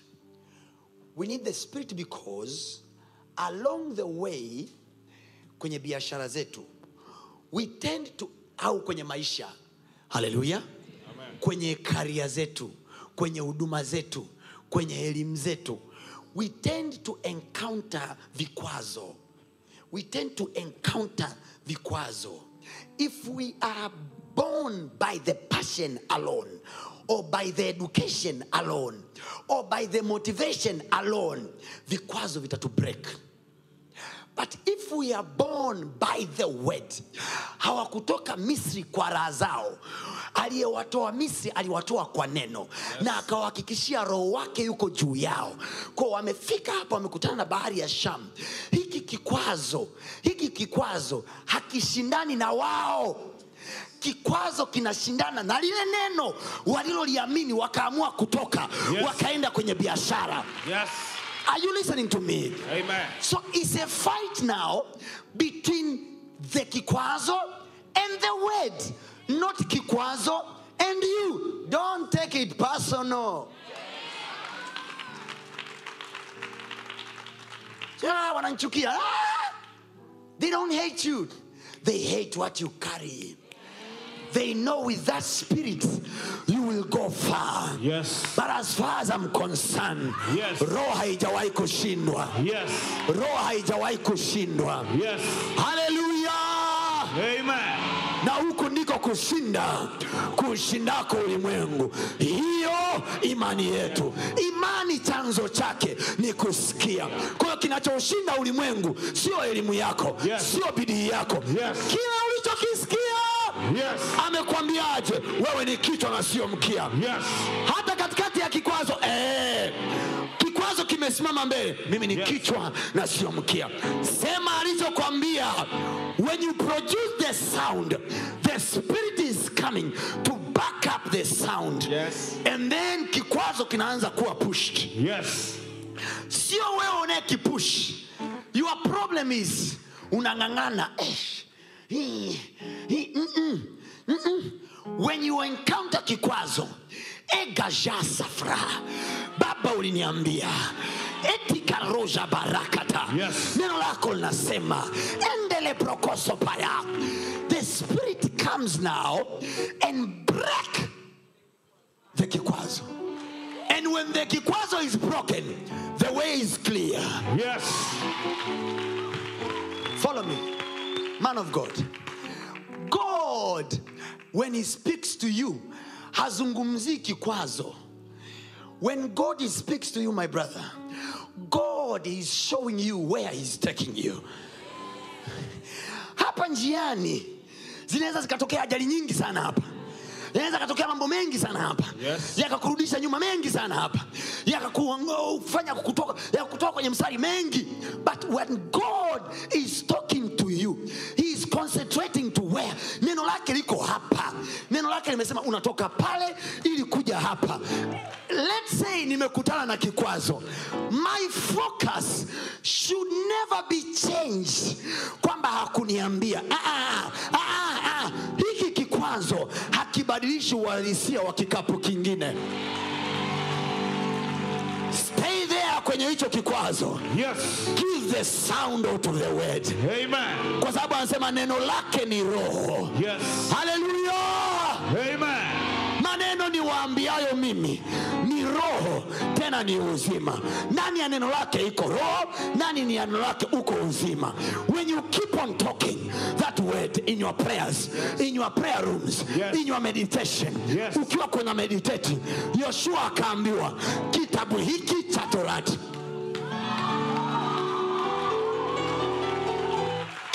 kina madesa yote Yes. ambayo musa ameandika Yes. maelezo yote ya safari ya hawa watu Yes. yako kwenye kitabu your job joshua kitabu hiki cha torati kisiondoke kamwe kinywani mwako yatafakari maneno yake mchana na usiku ndipo utakapofanya njia yako kufanikiwa sana nawe utastawi sana Yes. not because you went to school Yes. not because you have good partners Yes. not because you have friends Yes. ah, kitabu hiki cha torati kitabu kinasemaje?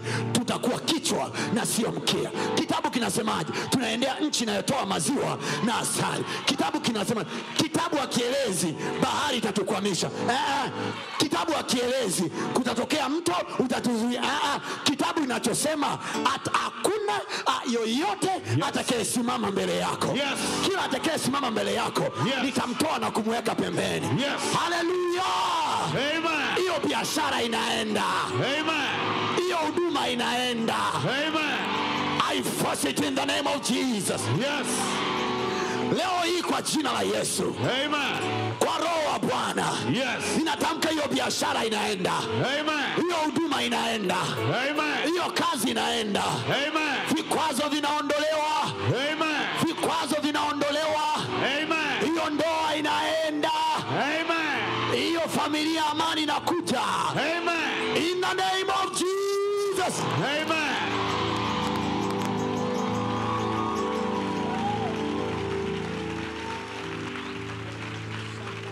when God spoke, there is a spirit backing up what he has said. Na roho huyo sio dormant, roho huyo anaongea.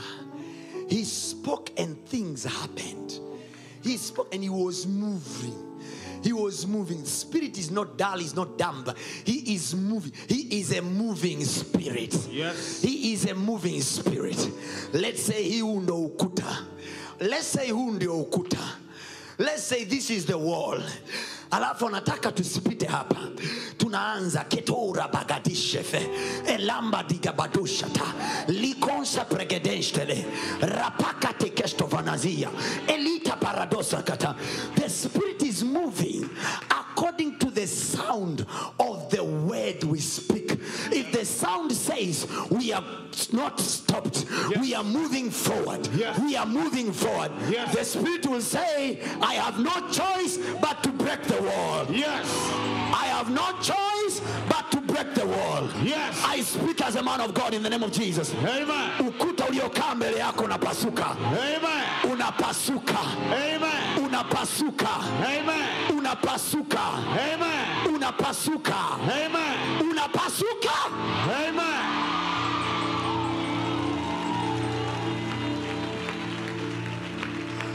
Hakutuambia kwamba ukuta hautakuwepo, lakini pia hakutuambia ukuta utatuzuia. haleluya Most of us, my brother, most of us, we are too weak. We are too weak because you are not energized by the spirit. This is the reason why Efeso anasema hatimaye ndugu zangu mzidi kuwa hodari kwa sababu hii game sio nyepesi. You need to be strong. Be strong in the Lord. Yes. Kuna wakati utavuliwa nguo utaachwa uchi wa mnyama. Yes. Be strong. Amen. Kuna watu watakukataa wote. Be strong. Amen. Kuna wakati hautakuwa na hela hata shilingi kumi. Be strong. Amen. Hang on there. Hang on there. The help is coming. Yes. Anaitwa msaidizi Roho Mtakatifu. Yes. Stay focused on the vision. Amen. Usibadilishe maono. Stay on that vision. Yes. Yeye ndiye njia. Yes. Anajua namna ya kukusaidia kutoka hapo. Yes. Kazi yako ni kung'ang'ania maono yako. Yes. Ni kung'ang'ania maono yako. Amen. Bwana umeniambia nitakuwa kichwa. Yes. I right now. Yes. Najiona kama nimechanganyikiwa Yesu. Yes. Sioni njia, lakini Bwana nimebaki hapo. Amen. Ninatumaini neno lako. Amen. Ulichoniambia ndio nitakachofanya. Yes. Sitabadilisha maono yangu. Yes. Umeniambia biashara hii ya viatu ina wateja. Yes. Sioni njia, lakini Bwana naliamini neno lako. Amen. Naliamini. Oh, hallelujah.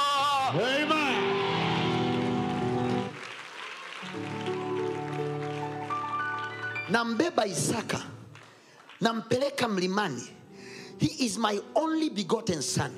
You have to remember ishmael nilimwachilia akapotelea na mama yake jangwani kwa hiyo kwa muda huu hakuna internet hakuna simu hakuna barua wala barua pepe kwa hiyo sijui ishmael iko wapi the only son niliyebaki naye ni isaka and then god is saying nipe isaka nitolee isaka so unaponiona naenda na isaka mlimani sio kwamba sina maswali sio kwamba sina mawazo sio kwamba moyo wa uumi sio kwamba sisikii si, si, si uchungu sio kwamba sina mashaka mashaka ninayo lakini imani yangu juu ya neno lake Yes. ni kubwa kuliko mashaka yangu Amen.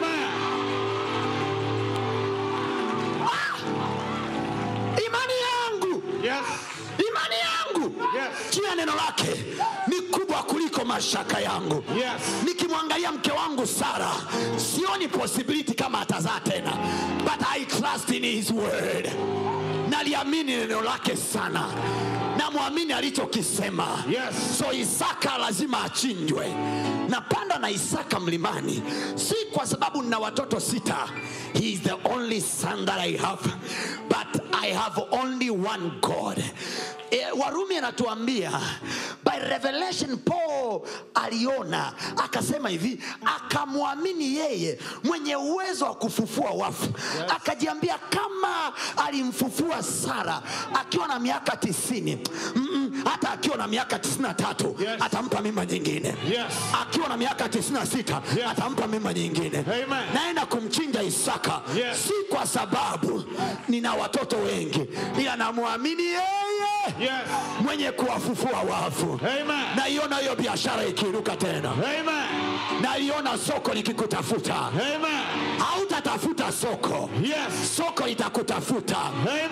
hang on on that business Yes. hang on on that career Yes. don't change your career Yes. believe on what you have Amen.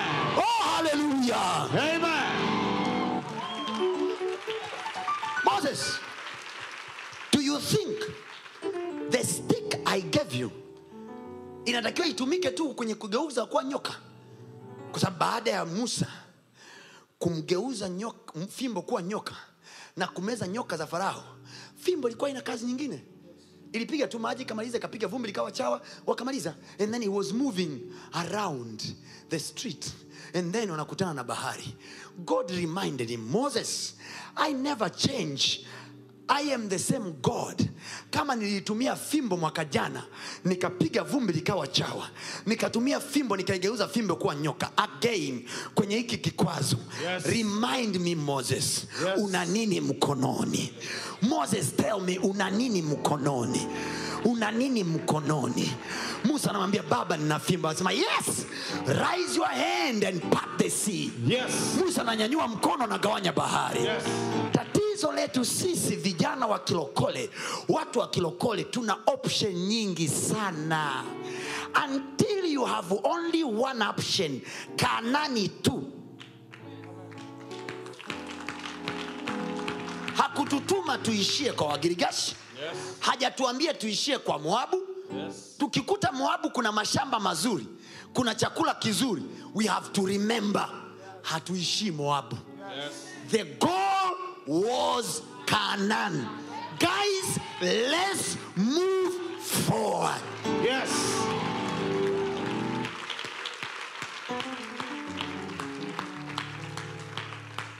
that's why some of us we knew these things earlier time of our youth.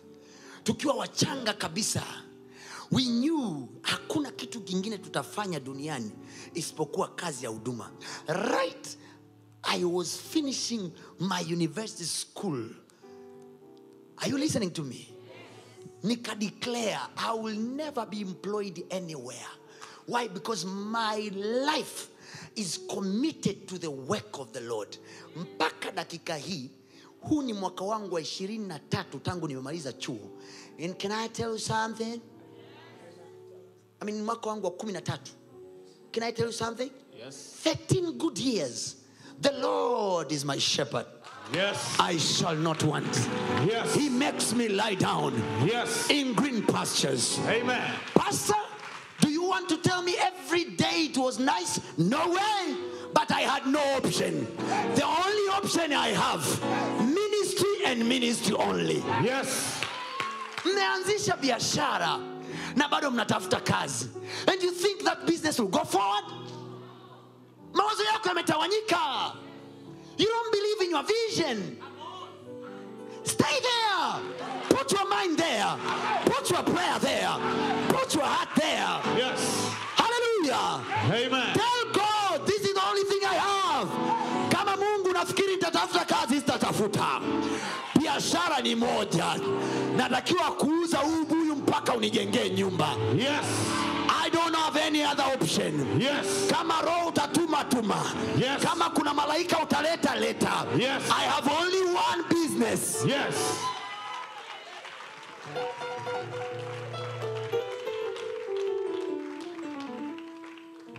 I was talking to one of my daughter one day. Anaambia daddy, I, I, I, nimeona kuna, kuna, kuna ajira za TRA zimetangaza so nina, I want like to apply and uh, so that I can increase my capital increase your what? Do you know what the devil is doing to you? The devil is taking you slowly from concentration. Power of focus ya kawaida tu inakwambia avoid distractions. Avoid distraction. If you really wanted to be a good banker, stay there, focus, be the best among them all. Yes.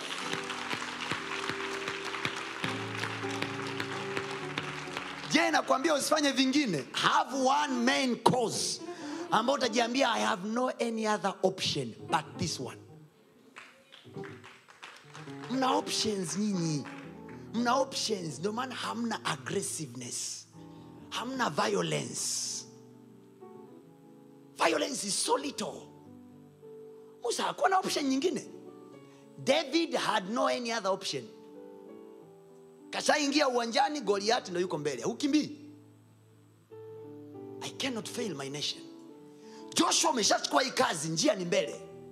There is no option. Wamekutana na mto yordani umefurika no option. Mungu anaambia kanyaga. Baba hakuna njia nyingine yote. Tupite kulia no! Mungu alimwambiaje musa? Hajasema piteni njia ya nyuma.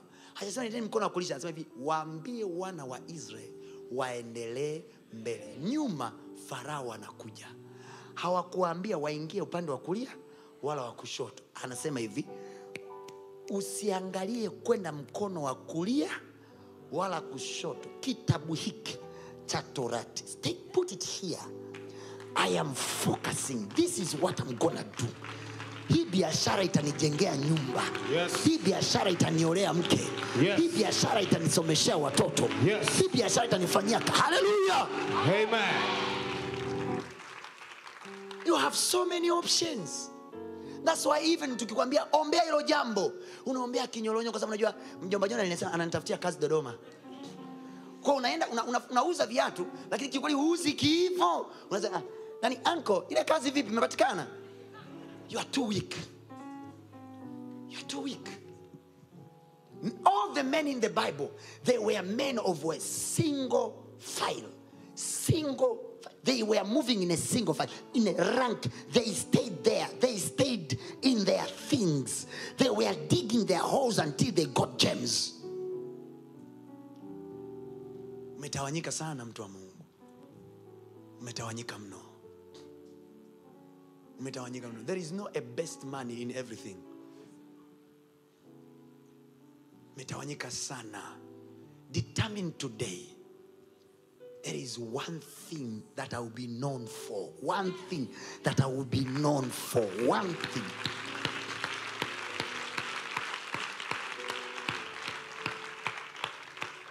One thing that I will be known for, and you stay there. Let your heart be there. Let your mind be there. Let your intelligence, your prayers, you speaking in tongues. You let everything be there. Utalala njaa, stay there because yote hayo yanakuja kuthibitisha uthabiti wa hilo ono ulilonalo. Majaribu kazi yake ni kutufanya tuwe thabiti. When we go through shit, we, it turns us to become lions in our things. Yes. We don't turn back. We don't turn back. Kada, hakuna kurudi kwa mama yako. Kama utalala barabarani, lala.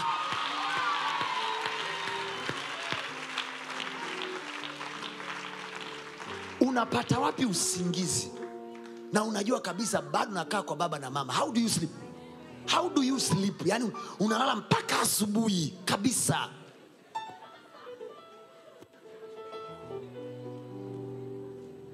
Yani wanatakiwa nyumbani wakigonga namna hii. Mama yako akwambie zima taa baba lala inatosha. Mungu amekusikia mwanangu mungu amekusikia.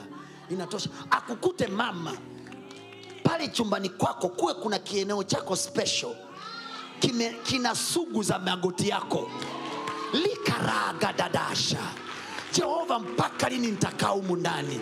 Kegereka barakataya jelemandarabakosota 2024 father 2024 jehova 2024 Yes.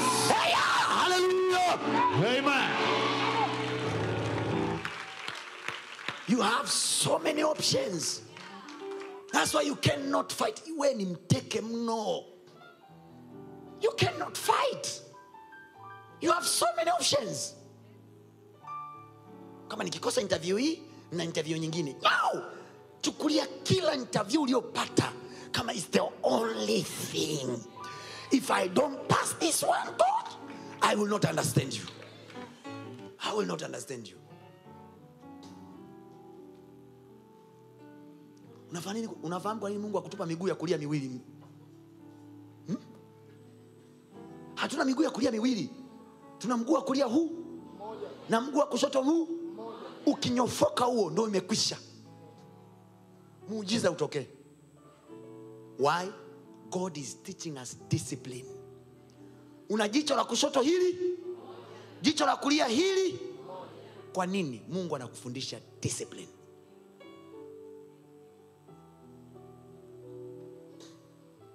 ndiyo maana hata macho yako yenyewe hayaangalii sehemu mbili tofauti.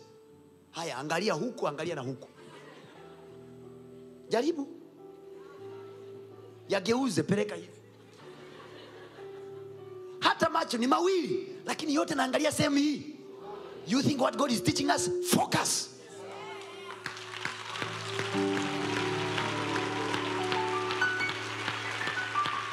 The market wateja wameanza kuja umeanza kuwa- vitu umeanza kuwapa vitu. Baada ya wiki mbili unasikia na vindondo vinauzwa vindondo vina, vina faida vindoo wewe. Uza vindondo. Juzi na jana walikujua kwa biashara ya viatu. Leo unakuja ah, siku viatu siuzi nauza vindoo. Be known. Be known. Hata kama utawekaweka vingine but be known for one mega thing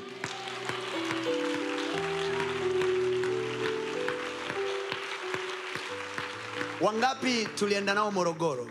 Na tulikuwepo kwenye kale kamkesha tukokafanya morogoro pale. Wangapi? Did you saw me prophesying or not? Mliniona nikitabiri sikutabiri? I was prophesying in details maisha ya watu. We had an, a little overnight ya watu walioenda morogoro. Huo unafuatana na sisi siku nyingine. Prophesying correct detail. Did i miss anyone? I prophesied in details in details lives of people.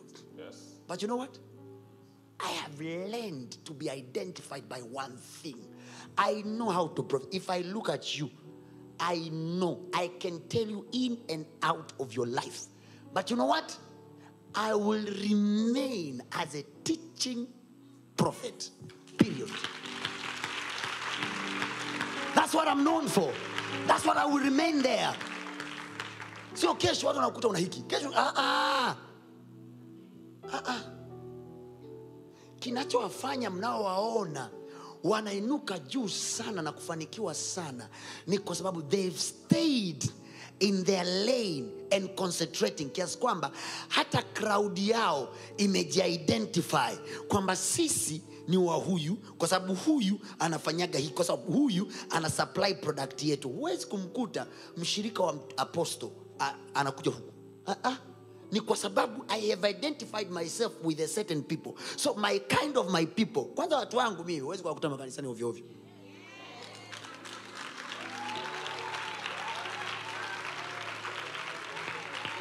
wabishi yani mpaka uwakomvisi wakae kama hivi. Umetumia nguvu nyingi sana. Yani neema ya mungu imekusaidia mno. Hawaendi tukiolela hawa unawaonaje hawa? Na miwani zao hizi bwana asifiwe. Bwana asifiwe. So everyone should know should identify what am i called for? What, what does my heart pump for? And when you identify it put the power there.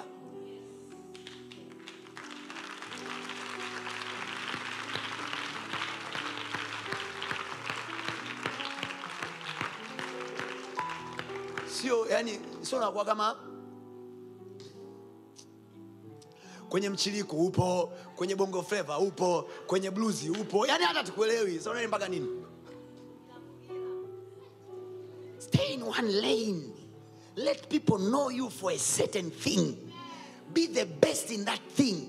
When we are look listen as you grow even in education as you grow mlipoanza degree ulikusanya misomo mingi. Ukaingia masters you had to master one. Ukaingia kwenye phd you have to remain in one single topic.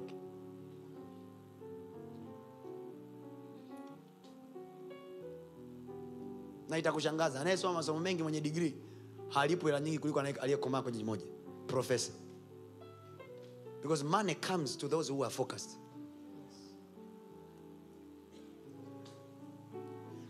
Fo- darasa la saba ulisoma yote. Form 1 ukakusanya. Ulipofika form 3 wakaanza kukupunguzia wakakujumlisha. Haya sayansi na art wakakutenga. Ulipofika form 6 hata hiyo art yenyewe inatengwa. Sayansi yenyewe inatengwa. Ulipofika chuo wakakusegregate tena. Unajua wanachokifanya wanafanya nini? Wanajaribu kukusaidia kukuchambua so that you may remain in one single thing and concentrate your power there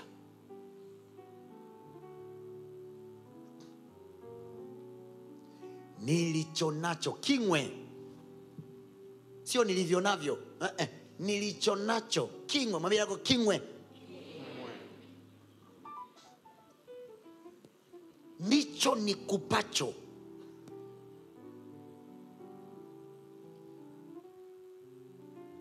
Haleluya Amen. haleluya Amen. you are too you are too weak. So you have a lot of options you have your answers option. Kwamba hiki ikikataa nitapiga hii. Hii ikikataa nitapiga hii. No. No. That's why you don't have all the heart in what you're doing.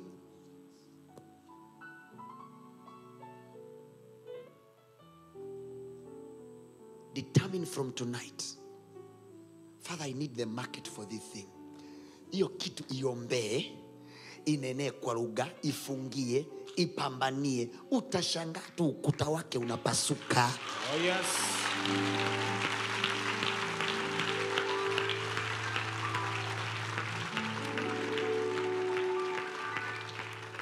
You see, some of the people mnafanya vitu vingi ili watu wawasifie.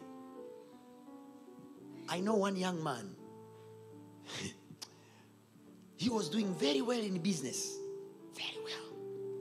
And then because he wanted approval of people na kupata maeneo ya ku ah, na kupata maeneo ya kuzungumza motivation speaking. He wanted to be known as the best in several companies. He is running a lot of things. Hallelujah. Now he started taking money of the main business and venturing into other big things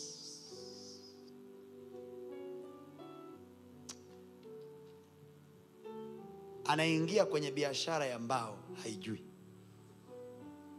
Anaingia kwenye biashara ya sijui ya, ya madini haijui.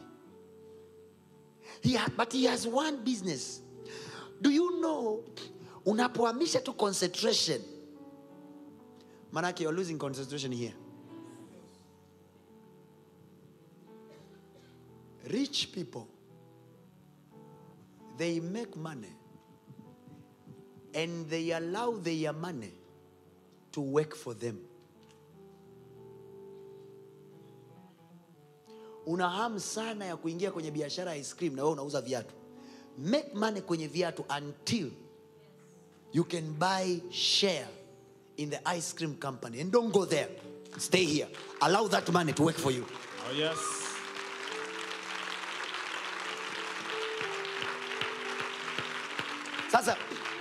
Huko kwenye biashara ya viatu unauza viatu hapo hapo asubuhi jamani ice cream, ice cream, ice cream, ice cream.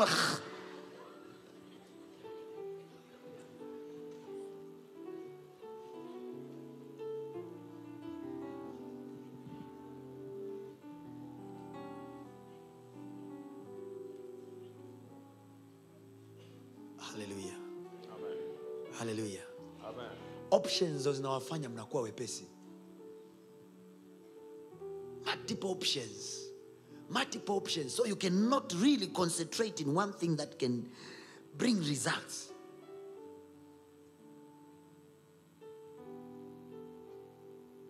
In ministry watu wa mungu kwenye huduma kwa mfano wako watumishi wengi wanafanikiwa kwa vitu vingi. Sasa kwa kuwa nimeona mtumishi fulani yeye anafanikiwa kwenye eneo la mchanga. Na mimi sasa nichukue tipa hapa. Niweke. You know what will happen? The people that really believed that they have gotten something from me they will say uh-uh. uh, i thought it is the word. Kumbe this one. What is this?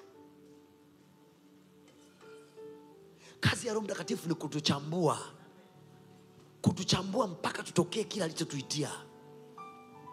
Mgeukie nakwambia when we speak the spirit follows the sound. Niwaambie kitu. Mungu aliumba vitu vingi. But he was patient enough to allow kila kitu kiumbe ndani ya siku yake. Imagine siku na masaa mangapi? Fikiri kama mungu amesema nchi na itoe majani na miche na mche umeao kila mche kwa staili yake. Ikawa asubuhi ikawa jioni ikawa asubuhi siku ya nne. Sasa unajua nini? Kwa kama mungu aliongea saa nne asubuhi alinyamaza kimya mpaka kesho tena. Why? He was concentrating in what he has said. And for your information kwa wale ambao mnadhania mungu alisema hivi mungu akasema nchi na, na iwe nuru. Akanyamaza. No no. The bible said kwenye aramaic bible sawa? Yes. biblia ya kiaramaic Aramaic, kuna lugha inaitwa aramic language ya kiebrania. Israel kuna, kuna hebrew na kuna aramaic ambayo yesu alisema talita kum. Thats aramaic. Is aramaic language. Now in the aramaic language lile neno god said linasema hivi god echoed He didn't say God said. He actually said God echoed. Na ukisoma kwenye tafsiri za chini kwenye extended version anasema hivi God echoed eternal echo. So alipozungumza akasema hivi iwe nuru. Hakusema tu mara moja iwe nuru. Mm. No. He gave an eternal echo. Maana yake nini? Kwa wale wanaojua mwangwi, anaposema God echo maana yake Mungu akatoa mwangwi unaosema iwe nuru. Na ufikiria mwangwi, wale ambao wamesha ku experience mwangwi kwenye tano au kwenye pango, unasema iwe nuru kule unasikia nuru nuru nuru nuru nuru nuru nuru. So it was not a thing of one day. It is find a aramaic bible and see it anasema god didn't just say it. he actually echoed. Kwa mfano aliposema maji na yakusanyike mahali pamoja hili pakavu paonekane. Angekuwa amesema mara moja maji yote ya milimani angekuwa ameshuka mara moja manake mpaka leo hii anasema neno hilo maji yakusanyike mahali. What proves kwamba mungu alitoa echo ya milele? The bible says neno lake halibadiliki. Alichosema 98 ndo hicho hicho anachokisema sasa. Kwa manake ule mwangwi wake unasikika mpaka sasa. Alisema 92 lakini mwangu unaendelea 2023 24 atasema vile vile 25 atasema vile vile 26 kwa maana yake nini? Maji yaliyoko milimani yataendelea kukusanyika mahali pamoja kwa sababu yanaendelea kuisikia ile sauti ile ile mungu anaendelea kusema. Wewe sasa.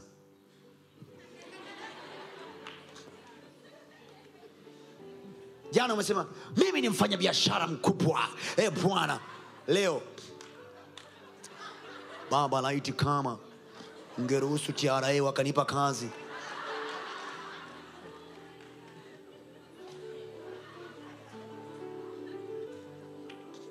so kama malaika wanalitendea kazi neno la bwana asubuhi wanakuja kwako. Eh? unaanza baba mimi ni mfanya biashara mkubwa. Malaika wanakuja tunaanza sasa mchakato wa kufanya biashara mkubwa. Ta, ta, ta, ta, ta. unafika hapa katikati baba tra baba. Tra baba. So malaika wamesema it's like a fun thing we are laughing but this is exactly what is happening in the spiritual realm angels don't know anymore what to do with you. Asubuhi wamekuja baba nifanye kuwa mfanya biashara mkubwa. Mchana wamekuja e mungu nimesomea banking mimi. Nisaidie bwana. Nikiwa benka mungu nitasomesha watoto yatima. Jioni baba nataka kwenda marekani. Naomba visa e bwana. Naomba visa e bwana. Nisaidie. No wonder we are stuck. People are not moving believe in your vision ha habakuki akasemaje hata ikikawia ingoje Yes. ingoje Yes. maana ni lazima itimie Yes. haleluya haitadanganya hiyo ndoto Yes. anasema hiyo ndoto haitadanganya Yes. ni lazima itimie Amen. i prophesy in the name of jesus Yes. your dream is coming true Amen. Wall is broken Yes. your dream is coming true Amen. every wall is broken Amen.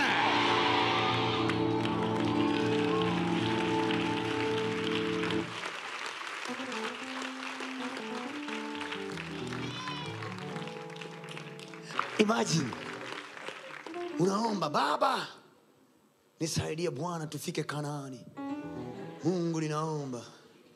Utusaidie mungu umetutambia tutafika Kanani, nchi inayotoa maziwa na asali. Mmefika mmekutana na bahari ya shamba. Musa. Kwani makaburi hayakuwepo kule? Mpaka utuete hapa. Kule kulikuwa na vitunguu na nyanya. Do you know what god said? Biblia inasema nimeapa kwa hasira yangu kamwe hawataingia. Imagine what god could do with you. If you could believe him. Unajua wakati mwingine unapobadilisha maono ni kumwambia hivi nafikiri hauwezi kunisaidia. Ilikuwa naona nibadilishe niwechukue kingine. Stay there. The market is coming. Stay there. Your people are coming. Yes. hakuna mtu aliyeandikiwa watu wake milele. Hakuna bana. Yes. hakuna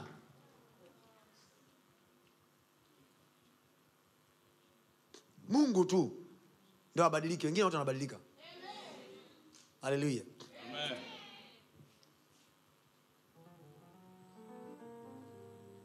simuoni mtu anayekwama undani maono yetu yainuke tena. Yes. kama ulikuwa umekata tamaa mungu akuinue tena. Amen. biblia anasema hivi usifurahi adui yangu usifurahi adui yangu.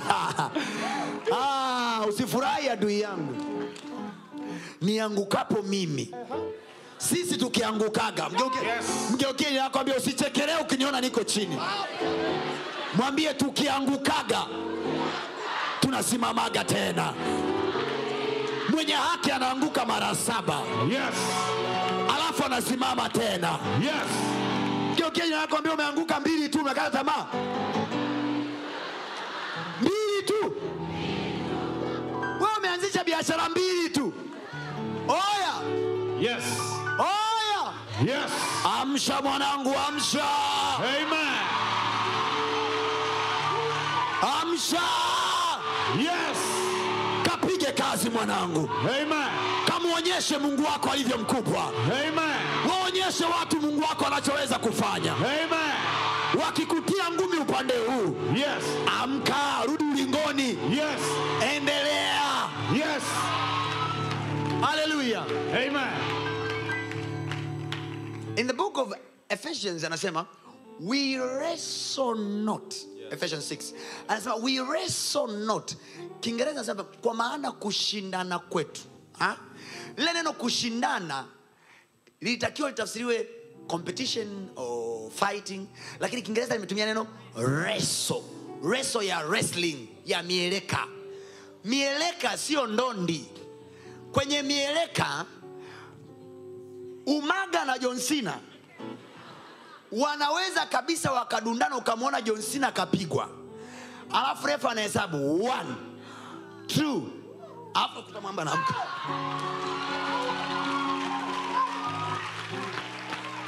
we wrestle not Yes. my brother Yes. my sister Yes. shetani ajue haikuwa ngumi za pointi Yes. ni wrestling Amen. Hallelujah. Amen. the referee is still counting Yes. hata kama umelala chini Yes. onyesha tu ka mguu uko hai Yes. Hallelujah. Amen. ukiinua ka mguu refa anakupa moment ya kuinuka. Unainuka goma linaanzwa upya nasema hiyo biashara inaanzwa upya Amen. huo mziki unaanzwa upya Amen. shall be known in this nation. Yes.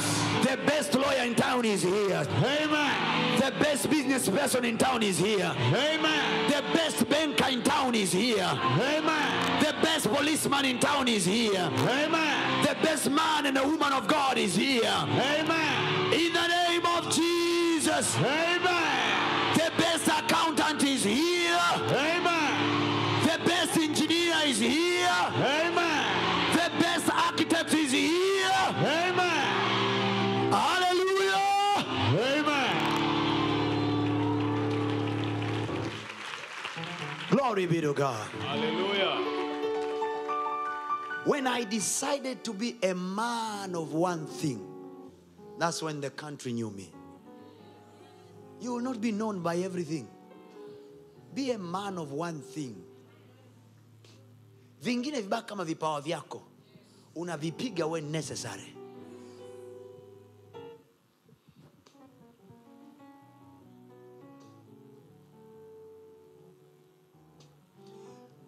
Many people think because alikuja prophet angel basi akija na mi nitaanza. I see i see i see. I need unction. But that unction from the man of god. When the anointing come on you the bible says when the gift of god come on you wherever it turns kila kigeukapo kipawa kila kigeukapo hufanikiwa. Maana yake nini? Kipawa kilichoko juu yako it determines the way unavyokigeuza. He is called prophet and i'm called pastor. I am enough with me being a pastor. With the unction that is upon me it will work on other things. But my people needs my unction. But i need his unction.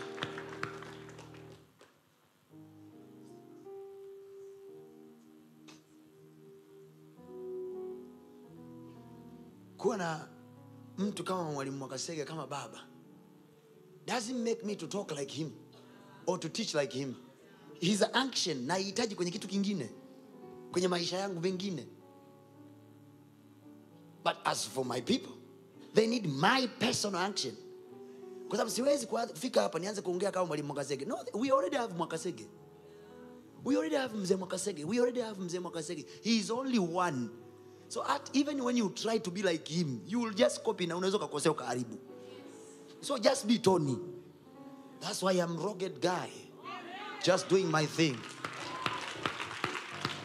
Because my action pulls my kind of my people. Hallelujah. mimi nyavu yangu sirushii kwenye kanisa jingine. Mi nyavu yangu narushia klabu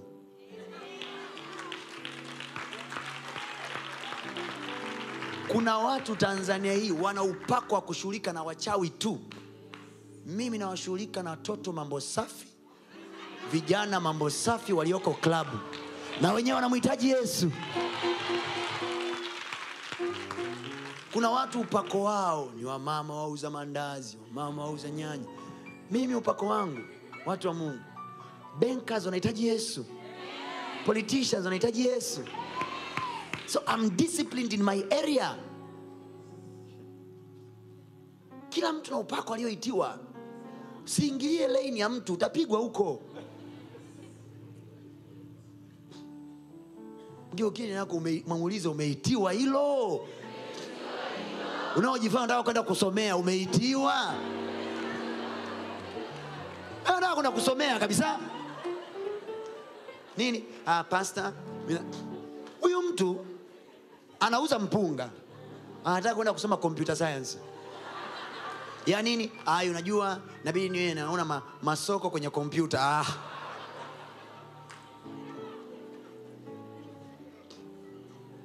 you have a lot of options that's why you are weak. Unazitawanya nguvu zako. Nani amewahi kukata mti kwa panga mti au kijiti kwa panga. Umewahi? Hmm? umewahi imagine unakata mti. Unaanza. Ka, ka, ka, ka, ka, ka, ka, ka, ka. huo mti utaanguka? Huo mti unautia vidonda tu. Hauwezi kuanguka. Mti unaanguka kama utakatwa sehemu moja mara nyingi. Please bring down that tree. Yes. bring down that tree. Yes. And concentrate. I release a blessing to overcome in the name of jesus. Amen. sema kwa sauti yako no option. No option. But to win only. But to win only. our brothers and sisters in the bible they never had uncles. They never had mothers.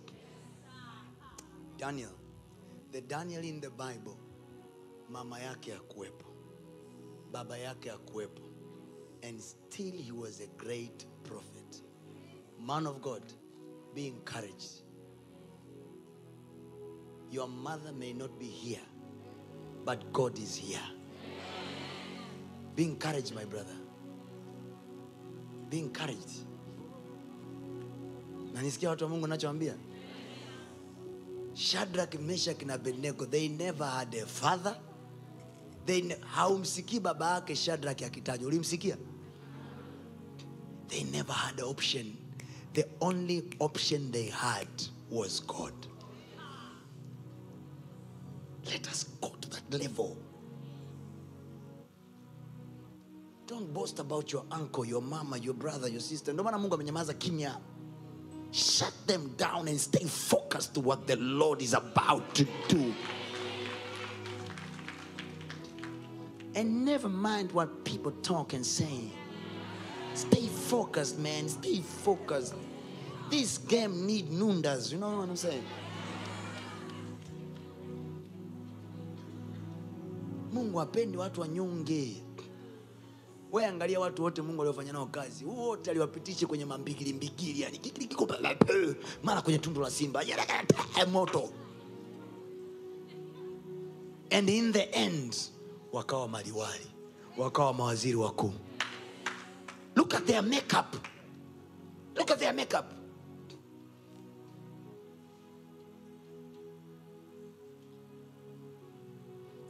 don't be afraid don't be afraid. Don't be afraid. God is with you.